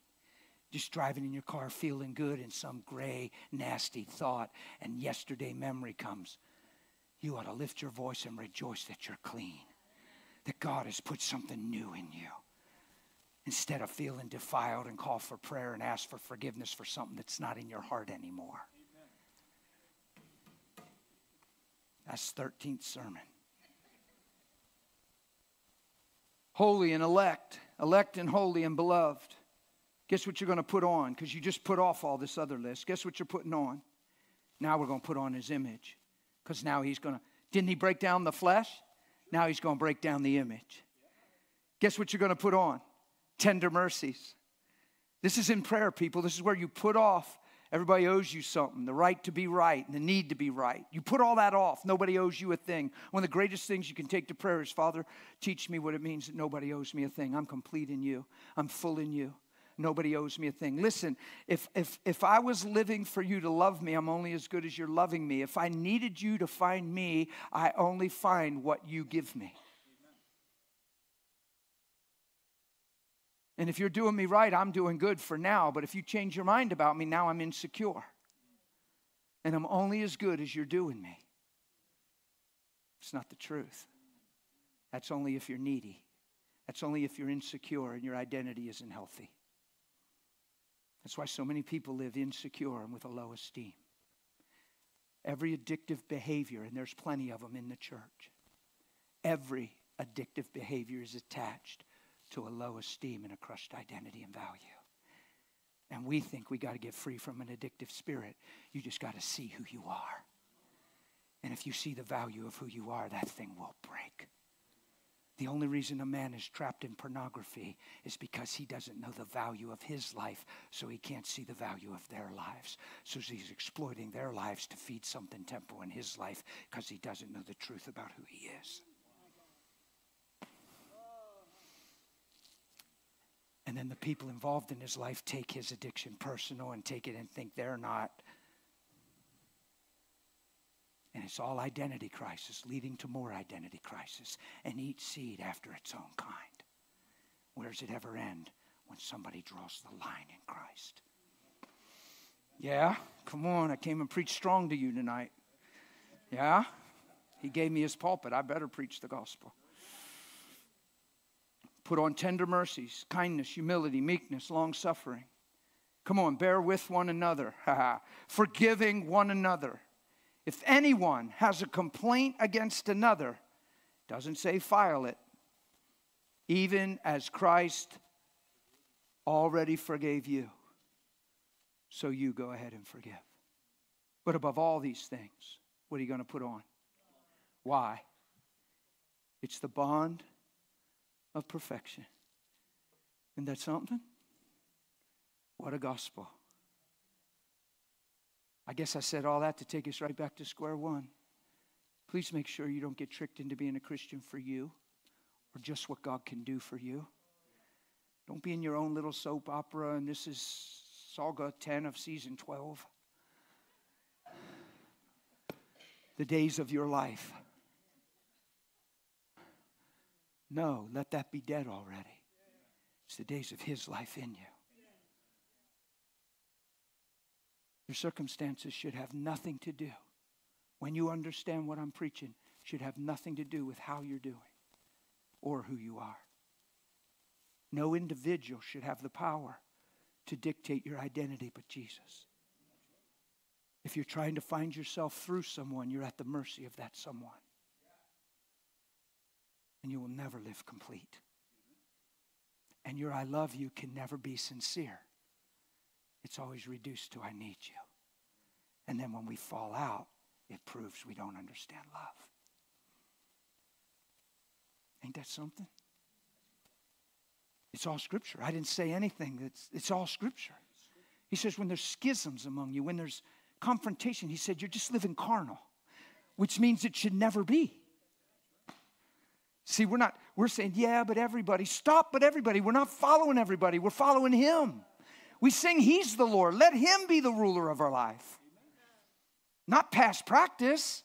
We're not following the crowd, we're following Him. And I ain't never seen none of that in Him. So I don't want to see it in me. And if I can't fit what I'm thinking into Him, then I got to get it out of what I'm thinking. Are you with me tonight?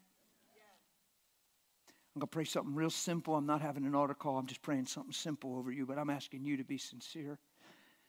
You make peace with God tonight. Hey, if you haven't been living anything I'm preaching, don't be like, oh my gosh, I got a long way to go. No, you got somewhere to go. Don't you leave here heavy and think, oh, this was too much. I don't even know if I'm saved. Nope, just go, duh. Oops. Man, I didn't see it like that before, but he sure backed it up with a whole, whole, whole lot of word and Jesus' life and his own personal examples. Duh. And just say, you know what, Lord, the best I'm hearing him and the best I understand, I'm stepping in. And I don't want anybody to owe me a thing because I want to be more like you. And I want to walk in sincere love. And I want my life to be an epistle. I'm not being self righteous when I say this. I have actually had a whole lot of people in public, airports, etc., walk up to me and ask what it is about me. That's why my speech is confident and bold. What is it about you? What? I hope I don't sound weird, but I feel so drawn to you. Like there's something about you. Like I saw you talk that man, I couldn't get my eyes off you. There's just what is it about the way you carry yourself or something? And I'm always ready to give an explanation for the hope they see in me. I've actually had it happen quite a bit. but I'm like this in the airport. I'm not like, oh, here we go again, another weekend. Stuck in the middle seat, probably won't even have room for my bag. Somebody has to sit in the middle. Why can't it ever be you? you just got people on both sides to talk to. If he's sleeping, try to get her awake, you know? it's just fun. Life is fun in Jesus. Now, if I'm carrying issues, I won't see the people. So I gave up my life subscription to issues when I got saved. I canceled my subscription to issues. So I don't have issues. I seek ye first the kingdom of God, and life is a gift, not a grind. You know why life feels like a grind? People are living it outside of why they're here. Why would God empower you to travel a road you were never created to be on? No wonder it feels dry. And if you're drinking out of dry cups, you're thirsty. Why don't you come and drink from a well that never runs dry? And just one drink. He said, if you'd ask, I'll give you one drink, and just one drink, you'll never thirst again. You see what's wrong with me? I said, okay. Identity for the rest of my life. Secure, settled, full, cup running over. That's why I look energetic to you. I'm not drained because I've been preaching long. You aren't drawing it out of me. You're splashing in my saucer. you couldn't even reach my cup. You're down here flopping in my dish. Because he said he'll fill the thirsty and flood the dry ground. So if there's anything dry in you, there's enough here to get wet. But it's not costing me. That's why you don't surround me on the weekends or he's poured out so much, Lord, and emptied himself. Please fill him up. I'm not going dry. If you're drinking out of my cup, I'm going dry. You're not even reaching my cup. I'm not here because of ministry. I'm here because of Jesus. You get it? It's different. If I was doing ministry, I'd probably get weary. If I'm living Christ, I'm set for life. Y'all good? There's a way, I, I love to pray for the sick. Oh, it's 10 after 9, though. Are we too late to pray for the sick? You guys good? Well, you know why we got to pray for the sick? Because I just preached on forgiveness of sins. The reason we believe and should have faith for the sick to be healed isn't just because they're sick and God's good. It's because of the forgiveness of sins, and the forgiveness of sins is part of redemption. So if man sinned and death entered the earth, and because all men sinned, all men die, Jesus took away what? Sins. So then the repercussions of sin should be challenged. That's why when we recognize premature death and things like that, or death because of sickness, we actually have authority to pray for the sick and pray for the dead. There's a young man I paid his way and sponsored him to go to a boot camp school, evangelistic mission school. He went and he ended up staying, him and his family, his wife and children. And now he's a leader there, and they just went on a mission trip to Africa. And I just found this out a demonic man that would bury himself in the dirt. He'd dig a hole and bury himself in the dirt, and then he'd come out of the dirt, and people just didn't even know what to do with this man. He would just do crazy things. He came to the service, and when this friend of mine was lifting his voice and praying, the demoniac got completely set free and came to sound mind. Came up and said, I don't know what happened, but I had this pain, and I felt like what has been tormenting me is gone. And everybody's just freaking out. There's a lady there, it's in Africa, brought her dead baby and was just standing there with her dead baby who's been dead for like two days. And everybody's just praying, and he's lifting his voice and praying, Holy Spirit, come. And the baby wakes up in her arms. My friend experienced it. I said, Man, I want that. Like, I want, I want to be there. I want that. See, there's so much unbelief in our lives that when you tell stories like that, I'm not saying that to be mean to you guys. What I'm saying is unbelief is more prevalent than faith. That we have a hard time believing stories when we hear them because it didn't happen in front of us or we didn't see it happen when we prayed. But just because you didn't experience it doesn't mean somebody isn't. And uh, this just happened this past weekend. And it was just cool because just to see God growing in his life and he's there and it's authority and he's praying and it's synergistic and it's corporate and he's praying and this little baby wakes up. Well, how do you even measure that? Like that's just yeah. He can do it. We were singing that song, right? So the reason we pray for the sick and should have faith for the sick to be healed is because of the forgiveness of sin. Mercy triumphs over judgment. You have to understand that when Paul explains in Corinthians, 2 Corinthians 5, being ambassadors, and he says Jesus was here reconciling the world to God by not imputing their trespasses. Meaning the fact that he was here in the flesh was a sign of God's mercy, not judgment and that everybody he was praying for and that came to him was getting healed. Why? God wasn't seeing them for their sin, He was seeing them through His Son for their creative value and purpose. So He wasn't imputing their trespasses, so they were clean in that way. So they weren't guilty. Daniel's in the lion's den. The king said, Oh, oh, Daniel, was God able to shut the mouths of the lions? He said, Oh, yes, O king. For as much as he found me innocent in his sight, he shut the mouth of every lion. What are you through the blood of Jesus? Innocent, if you'll believe that.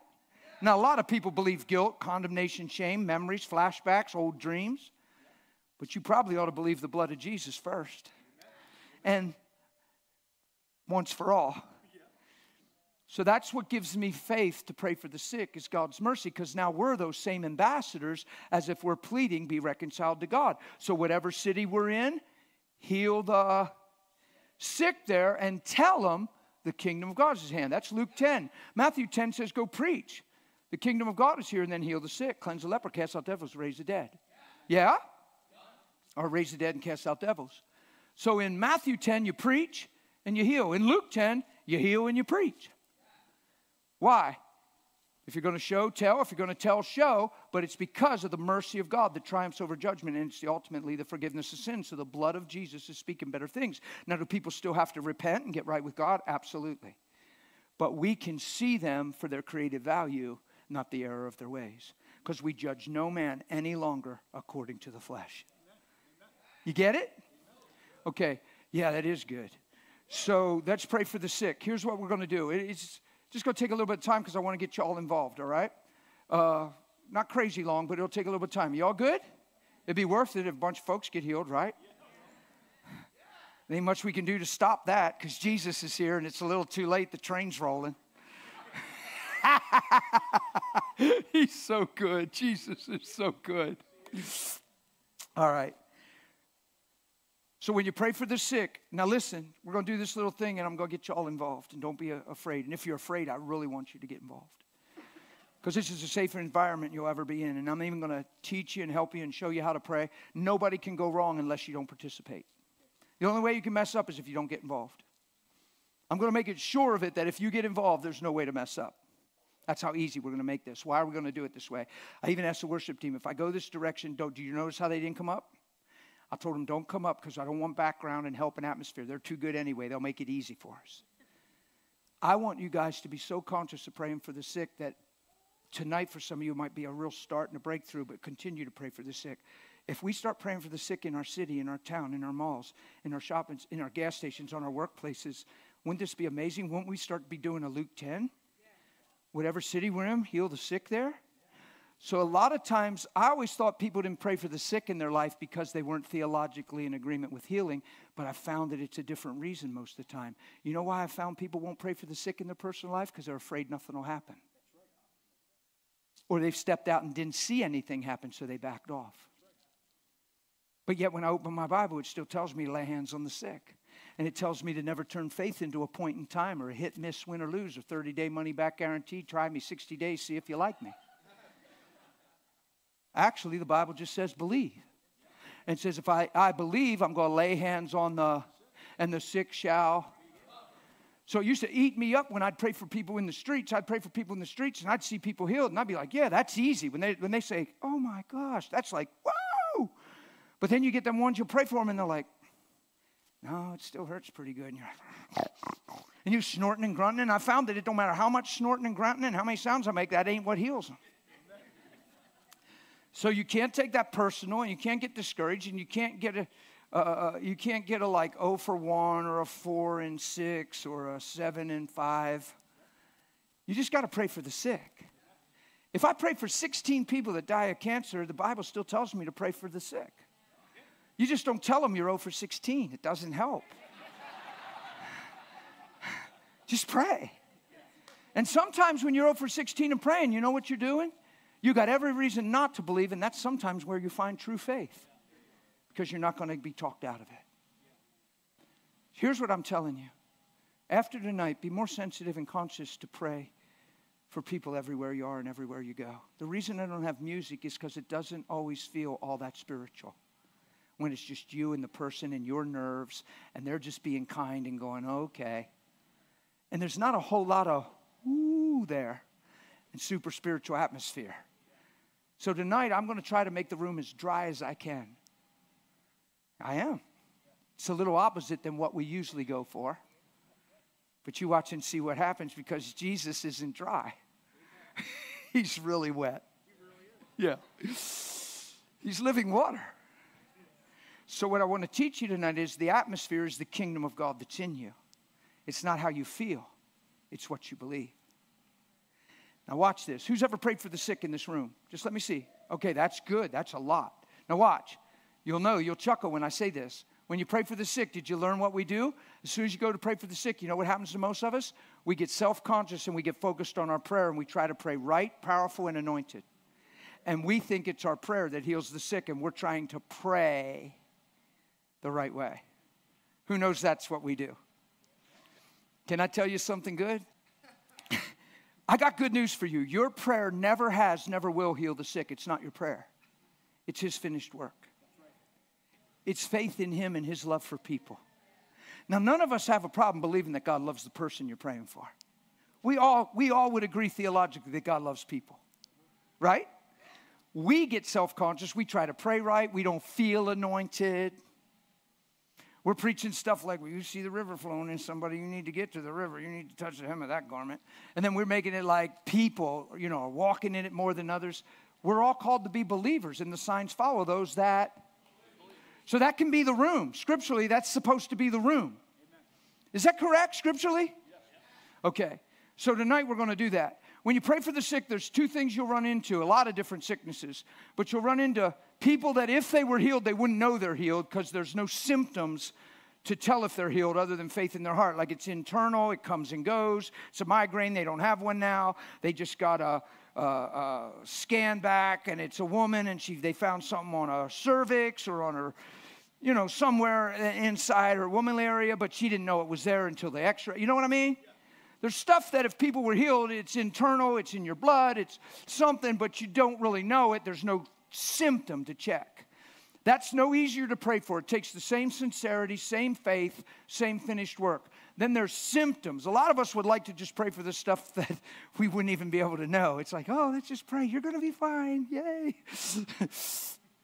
but we'll shy away from somebody paralyzed. We'll shy away from stuff that has visuals. It's both the same faith. It's not your prayer that heals the sick. It's faith in Him, His finished work, and His love for people. Watch this. Be whole in Jesus' name is plenty when it's backed with a revelation. Are you hearing me? And any of us can sincerely believe that and pray that and not get overwhelmed and try to pray right or be afraid to pray wrong.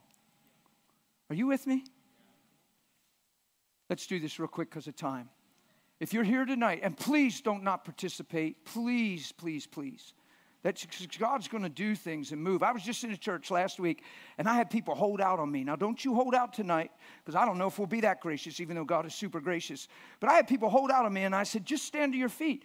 And they, there was people that didn't stand. So I got like three, four different specific words of knowledge for people. And then they jumped up. I said, now listen, don't you start saying, if he calls out my thing, I'll get up. No, you should have already been up. But, but there was a couple people that were hesitant for some reason and it was so funny because I walked over to the corner of the platform and the rows were real close. And I said, I said, okay, guys, we're finally ready to pray. And I got over here and I went, oh my goodness.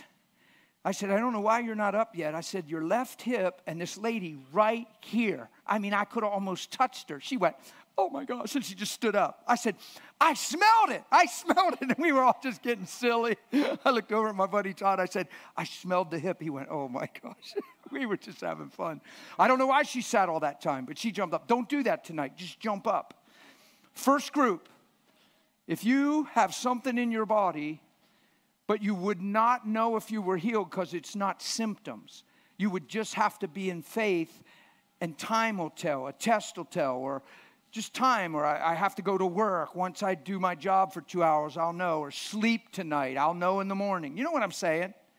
If you have something like that going on in your body, but there'd be no way to tangibly tell except for faith in your heart you're here, please stand to your feet so we can pray for you quickly but effectively. Just stand to your feet. We're going to do this super quick, but, but sincere. Stand to your feet if you have a condition like I'm talking about and you wouldn't know if you were healed because there's nothing to check tangibly. Please, please, please jump to your feet quick. I'll know when we're ready. And, and, and I'm, we got plenty of people to pray for, and it's late. But we'll pray when I know we got everybody up that needs to be up because it's real. So don't make us wait. Just jump to your feet, please. Thank you. People keep standing up as I'm waiting and pleading. Why would I plead like this when we have all these people already? Because it's real. And He wants you standing because I'm telling you, these things are changing. It's just fun. Anybody else need to stand? I'm feeling like I got about two people that need to jump up yet for some reason you didn't stand yet. Thank you. Thank you. Good. I like when you say two and two jump. Thank you. No, I appreciate it. Thank you. This thing is real. It's why I'm waiting. Thank you. If you're sitting near them, just tap them, get a hand, do a finger lock, don't smother them, just be gracious and just say, Hey, I'm going to pray with you. I'm going to believe for you. Don't pray yet, just acknowledge them and say, Hey, I'm going to pray for you. If you're sitting right by somebody, just say, Hey, I'm going to believe for you. It's going to be real simple. We're going to do this simple. Okay, if you stood up for prayer, listen carefully. This is all I want you to do. I want you to believe this tonight and believe it for the rest of your life. Father, I know you love me. Watch. I know you love me or you'd have never sent your son. Come on, you settle that in your heart tonight. The measuring stick of God loving you is not your circumstances, it's not sickness or no sickness, it's not how people are treating you. The measuring stick of God loving you is Christ crucified. And we know God's love in this that He sent His only Son. Yeah? So faith works through love, and we're rooted and grounded in love. So important. Now we're never moved by life or circumstances. Why? Because I'm already founded in love. So I am valuable to God and He loves me. And He gave the life of His Son up to redeem me and give me life. Ain't that something? So say that in your heart tonight and believe that for the rest of your life. Fair enough? touch your person and just say this. We're not even asking them what they stood for. I just don't believe right now it's necessary. Just say, Be made whole in Jesus' name. No more symptoms, no more sickness, no more weakness. Completely whole in Jesus' name. Thank you, Father, for your great love. Amen. Amen. That's great. Thank you. No, that's good. It seems simple, but it wasn't simple. Jesus paid his life to make that possible. What's simple is that we don't have to get into works and feel like this isn't something we can't walk in. It's called faith. Amen. You can all sit down. You can all sit down. So do, do this church a favor and, and the people that prayed for you tonight. Not me. You don't even have to let me know. I just, God is doing so much. When you realize you're healed, I don't know what that means. I don't know if that's through the night. Uh, so I have an idea. Some people stood up that they'll know after a night's sleep. They'll even know in the morning. There's some people that'll just take a couple days of time to know. When you know and realize your body's changed, tell this church, tell some leaders, say, I stood up on Friday. And somebody I didn't even know just touched me and prayed sincerely over me, and I believe God loved me, and man, that thing's going and just cheer people on in the fruit of what God does in these simple exercises because they're more than exercises. They're training and equipping times. Amen? It's not me lining everybody up. My gifting is fun. If you'll sit beside me on a plane, you'll probably get my gifting. I don't look for my gifting on a platform. You know why? Because everybody's looking for gifting, and we go bonkers over gifting. We ought to go bonkers over a believer priesthood, and that we can walk in Christ and live by the Spirit. Amen? Amen. So here's what we're going to do. If you have sickness in your body tonight and you would know you're healed, first of all, is there anybody that it's very hard to stand or you can't stand and you'd rather be sitting for us to pray for you because it's a challenge to stand, but you would like us to pray? I need to know who you are out of sensitivity just so we can pray for you. Is there anybody have a hard time standing? You you want prayer? Okay. And right here? Okay. Oh yeah, yeah. Okay. Sleeping. Okay, so there's a little girl sleeping, but do you want prayer? The man in the blue? Anybody else? Because I saw some walkers and chairs and different things, and I don't know who's here that it's just easier to sit sometimes, but you want prayer, but it's hard to stand because of backs, legs, knees. Everybody else good? Okay, here's what I need you to do. If you have something in your life less than wholeness, and it would be amazing if we, you were healed, right? And if you were healed without exaggeration, no music, no hype, you would be able to sincerely check your body. It's not physical therapy. You're not taking your prayer person saying, lift it higher. Oh, yeah. it's, just, it's not like that. Your body will tell you. Grace, you'll know. I want you to check. And, but you have something in your body, it's physical. And if you were healed, your body would, would tell you, you would know. I need you to stand to your feet, please. Don't stay sitting. Please get prayer tonight. It's not a lack of faith if you stand up. You say, I'm already in faith. Okay, let us be in faith with you. Come on, it says, Is any among you sick? Let him ask. You're not, you're not claiming sickness when you stand up. You're saying, There's something in my life less than wholeness. I'm believing God wants to heal me. So stand to your feet, please. If you have something in your body less than wholeness, stand to your feet, please. Are we waiting on anybody? Are we waiting on anybody? Please stand if you need to stand. Okay, I'm going to go with that. I'm just going to believe we got here. Thank you. Okay, here's what I need you to do lift one hand real high so we don't lose you in a crowd. Okay, now the people sitting, listen carefully. If you're nervous, I'm excited about that because you ain't going to be self confident. If you're scared, get on my team. Get on Team Jesus. The people sitting are my prayer team. I'm going to tell you what to pray. You can't mess up. You say, How can we do this? We don't even know who each other is. We don't even, we don't even equip. We're all equipped to just believe Jesus. I'm going to keep it so simple, nobody can go wrong, Pastor, okay? You're going to trust me on that one, right? Okay, because we don't know everybody, but watch this. This is a sanctified room, man. We're praying in the name of Jesus. I'm going to give instructions how to play, pray, and you watch and see what Jesus does in this room. The people sitting, go claim somebody, if your hand's up, when they get you, put your hand down. Don't pray yet. Don't even pray yet. We're going to do that together. Just meet them. Just say, hey, I'm going to stand with you. Come on, everybody's sitting. Get up and find somebody, please. If you're nervous, please get up. Because if you're nervous here, you'll never pray in a parking lot. But if you get up and challenge that nervousness here, you might be inspired to pray in the parking lot. And you might wonder, man, I could have been doing this my whole life, right? That's what happened to me when I started praying for people out in public. I have parked my car along the road and tracked people down because I have been doing this for a while. Anybody else need somebody to stand with them? Only, only put your hand up if you're waiting for a person.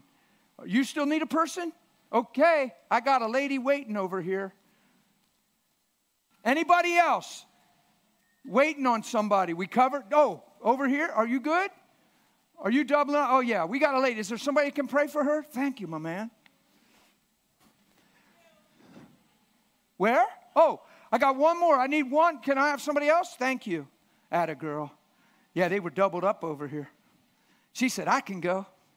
Okay, here's what I want you to do. Don't pray yet. Just take three or so seconds. Tell the person that's going to pray for you why you stood up. Just give them that simple three second version of what you're believing for just arthritis. I got the symptoms. I got bone on bone. I got scoliosis, you know. Just give them the three second version. Just tell them what it is. Okay? Y'all good? Everybody should have that. You good? Y'all know? Here's why I did that Matthew 17. They prayed for an epileptic boy, so the whole context of the chapter is sickness. They prayed for an epileptic boy, but nothing changed in the boy. So when Jesus came, the Father said, I brought him to your disciples. They couldn't cure him. And, and Jesus said, You faithless, perverse generation, bring the boy to me. He heals the boy.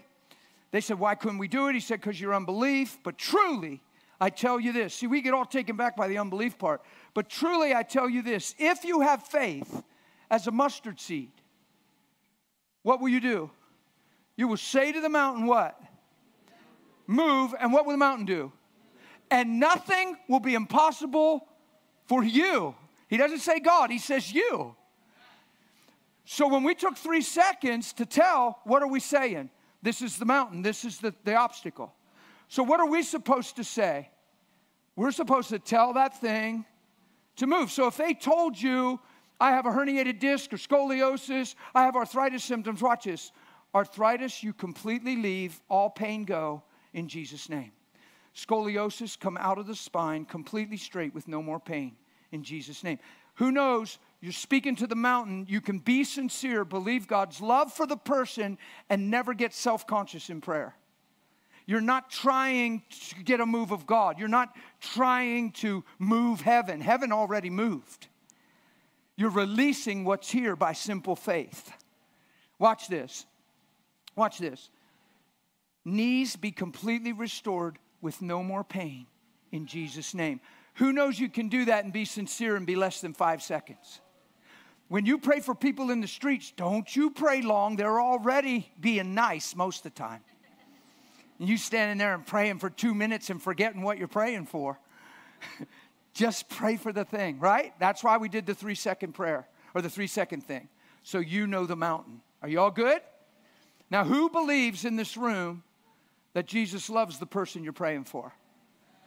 We all can believe that, can't we? So then we just believe that the finished work is enough and it's His love, it's not our prayer. It's not even because we've lived worthy, He's made us worthy. And we believe and we facilitate in that love. That's what we're doing when we're praying in faith. Do you get it? So that's why these signs shall follow those that they will lay their, why their hands? Because God's saying, when you lay your hands, I'm laying mine. Ain't that something? That sounds pretty cool. So here's what we're going to do. We're going to do that. I'll give you five to six seconds to pray. That's really quick. At about six seconds. That way, nobody can get in trouble.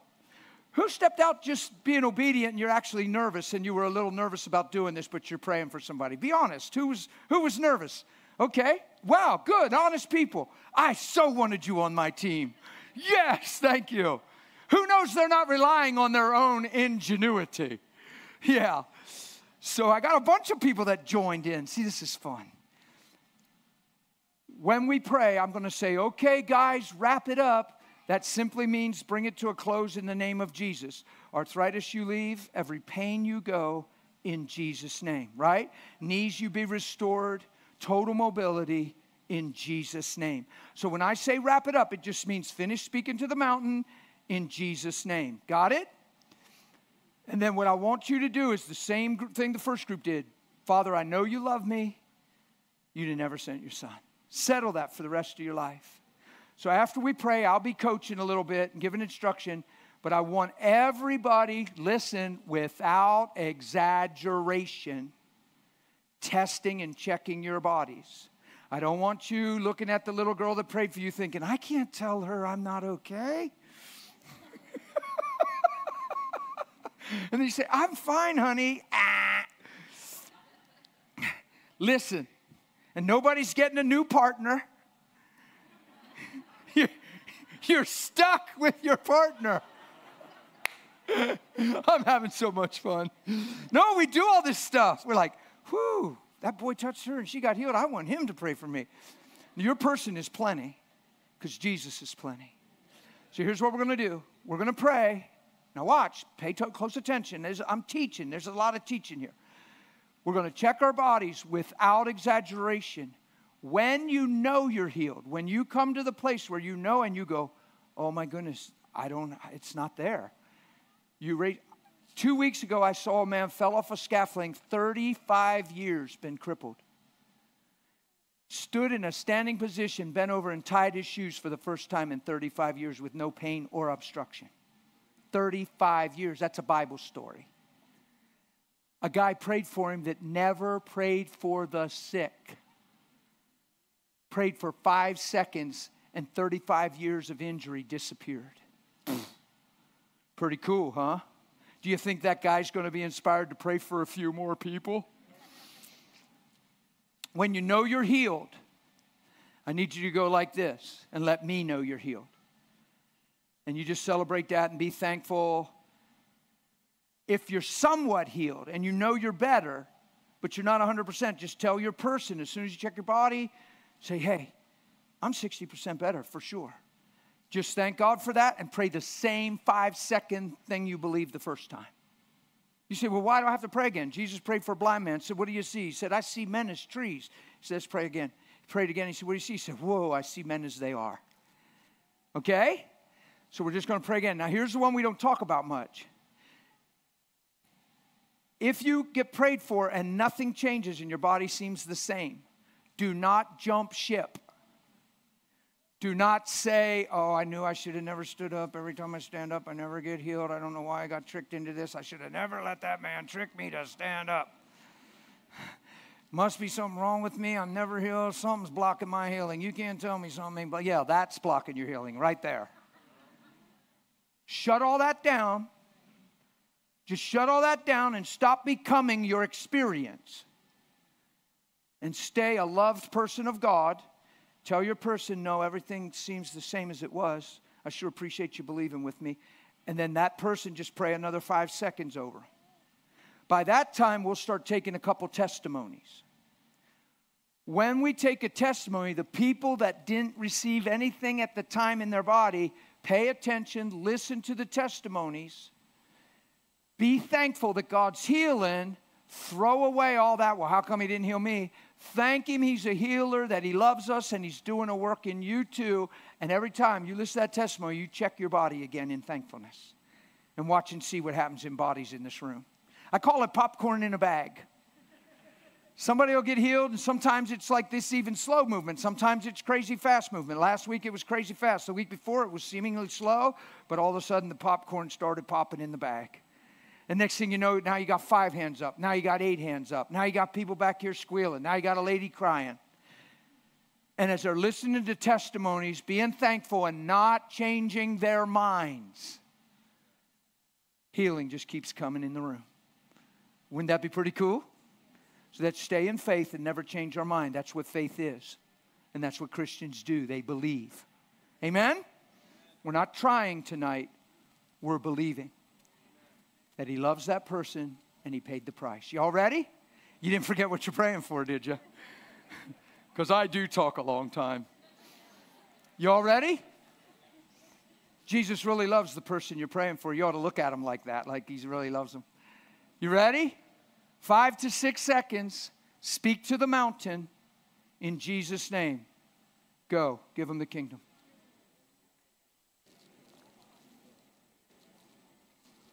Thank you, Lord. Thank you, Lord. Okay, that's definitely six seconds. That's good. Just start to wrap that up. No, that's amazing. Just start to wrap that up in Jesus' name. Thank you, in Jesus' name. Thank you in Jesus' name. Father, I know you love me. You'd have never sent your son. In Jesus' name. Wrap your prayer up. Everybody should be finished by now.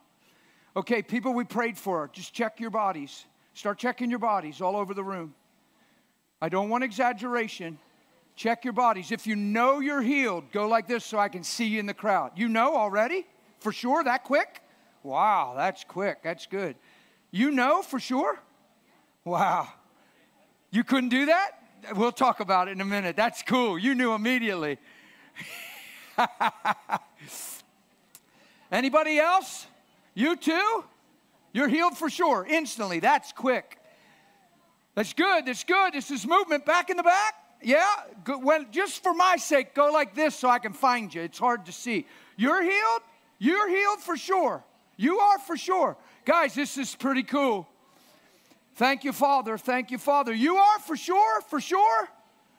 Man, thank you, Jesus. We're going to get a couple testimonies in a minute.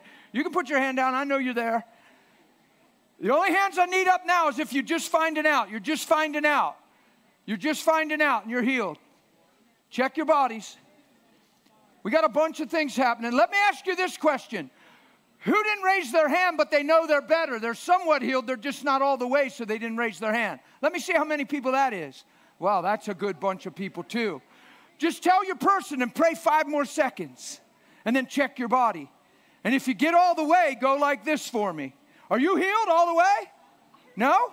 Okay. Somewhat. Somewhat? Thank you, Jesus. Thank you, Jesus. All the way? Did you just find out? Did it just happen? So it didn't happen all the way till just now. Oh, that's so good. Guys, she just, her body just went all the way healed just now. So do you see how if we change our belief because of experience or time, that might not happen. But if you keep believing the same thing, bang. Ain't that cool? Anybody else finding out they're healed? Anybody? Let me see. Anybody? We're going to take a couple testimonies. Are you healed in the back? Yeah? Did you just find out? Did it just happen? That's beautiful. Who else? Did I see another hand? Did you just raise yours? Is that why you're crying? I like that. Because you know it's your body, right? Yeah? So this is pretty good. Like you know you're healed. Did it just happen? Yeah, and you were checking and it was a little better. Now it's completely. Oh, that's so good, girl. You're healed in the back? Ah, you you look healed. Radiant back there. Hey, this is fun. Anybody else? I'm just taking my, you know you're healed? Did you just go all the way healed that last time we prayed or partially? You feel completely healed. Seems like it. You're right up on it. Amen. No, that's amazing. Okay. Testimonies. Let me take a couple quick. If you if nothing changed yet in your body, please don't jump ship. A Christian only ever has one response. Thank you, Lord, for loving me and thanks for what you're doing in me, right? Well, let's do a testimony. Sir, you got healed pretty quick right here in the front. You said you couldn't do that? You weren't able to do that? Show me what you could do before they prayed. What was your max? Okay, so like how far could you have went without it biting you like about there and then it would grab and then you'd have had to consciously push your way through pain and stuff? Throw it up there for me. Nothing wrong. I don't know about you guys, but that's fun. Thank you, Jesus. Who else? Who's got a testimony? How about the lady that was crying back there? Hey, can I get the lady that was weeping? Can you tell me what happened? Can you tell us what happened? Yeah.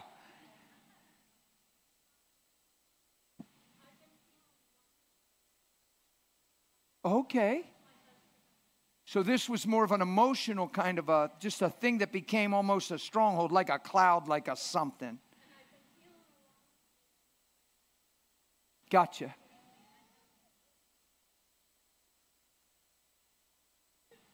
Yeah, yeah.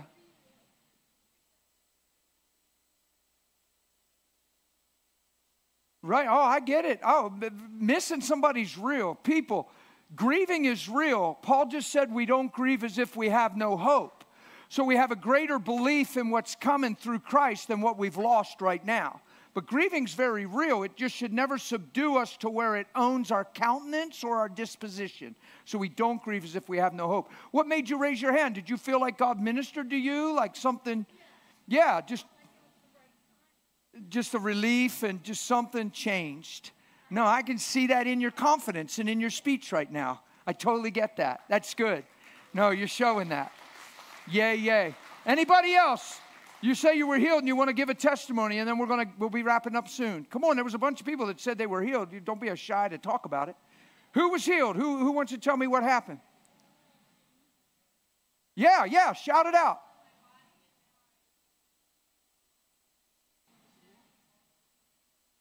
What was causing that? Was it all the time? All the time, and you didn't have to look hard for it, you could find it. So now you can't find it. It's completely gone. Come on, guys, that's just beautiful stuff. Do you understand that I just taught a long time and turned you guys loose? Did you notice I didn't pray over top you guys? I didn't pray loud and pray over you guys. I just let you guys pray for each other. This is just you guys believing for each other. Who sees that's legitimate and awesome? Anybody else have a quick testimony? You were healed? You were healed? I know there was a bunch of hands. Who's being shy about testifying? You can't be shy about testifying. Who was healed in their body? You have a testimony? Yeah? Go ahead. My heels always hurt. Just because I was standing on the floor. Okay, and you weren't even getting prayer for that? And you noticed that left while you were praying for her? And something changed in your body. Okay. So you had the pain when they were praying? All night, even during my amazing sermon? Mm, that bugs me. But you had the pain all night. You stood up, they started praying for you, and boom, it left. And we, it's not because we played your favorite song. Did you notice I made the room pretty dry?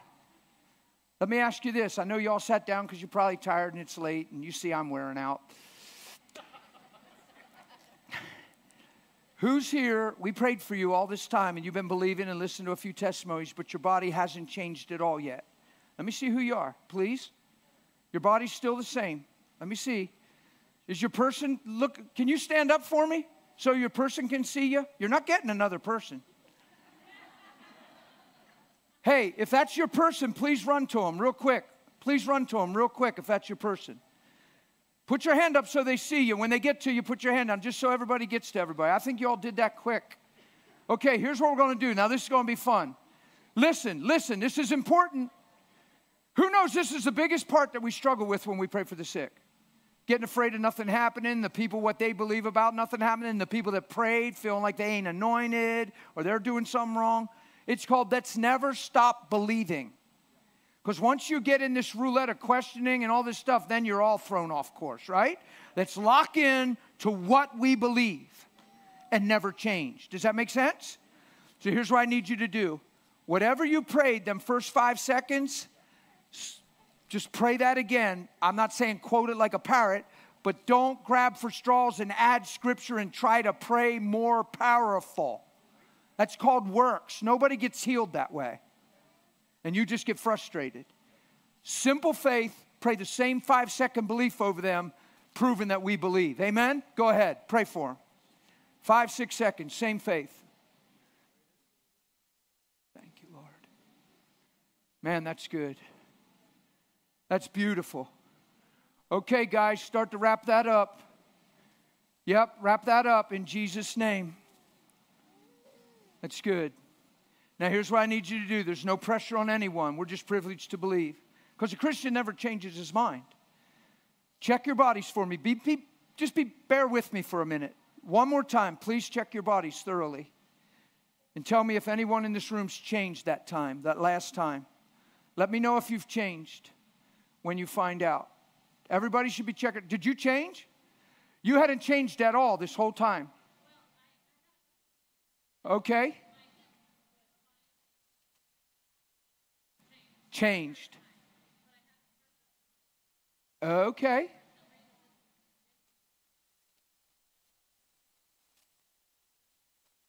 Did it completely go? You don't have, so you're, you completely got healed on that last time. Guys, check this out.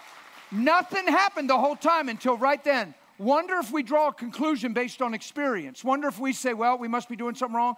Well, it ain't God's time. Well, maybe He's doing this for a reason, honey. He's probably trying to teach you. All that crazy stuff we say that Jesus never said. And look what happens boom. If we change our mind, we might miss the boom. If we stay locked in, we might get that, right?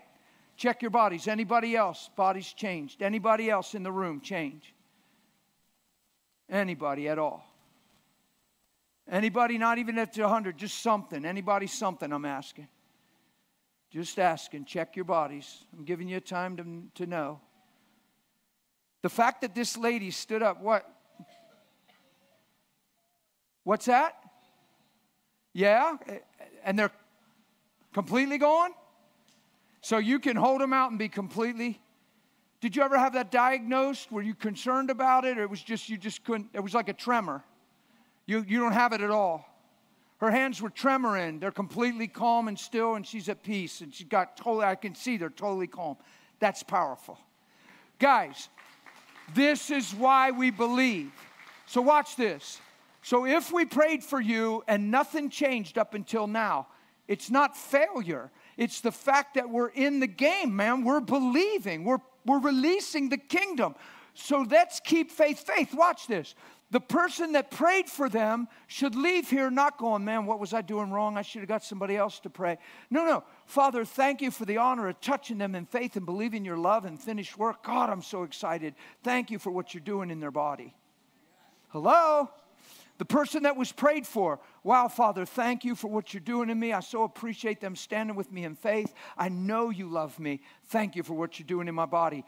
Go to bed happy. Go to bed in faith, not, wow, what's wrong with me? I wonder what God's trying to teach me. Throw all that away and be thankful and proclaiming that's how our bodies change. Guys, I'm 29 years into this thing. I've been aggressive the whole 29 years prayed for thousands of people and seen thousands of people prayed for. This is how our bodies change when we let faith stay faith and don't let anything change our mind.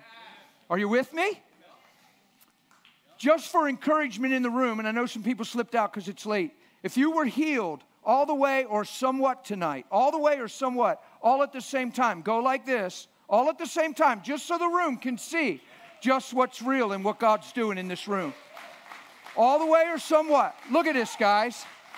I don't know about you, that's encouraging. We probably ought to just keep praying for the sick all the time in our lives. Amen. I'm not saying you guys don't, Pastor. We got a lot of visitors, we got people from the community. What I'm saying is, let's live this way. Amen.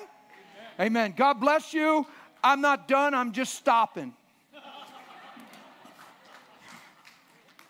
Love you guys. If you filled out a connection card or a little card and you had a prayer request or something you wanted us, there's a there is a basket just outside both doors. Thank you so much for your patience. Thank you so much for your faithfulness. Father, dismiss us from this place in your spirit, in your power, in your anointing. In Jesus' name we pray. Amen. God bless you guys. If you want to contribute to Dan's ministry, you can just put your offering in the basket outside the, the main door. There'll be a basket outside the door.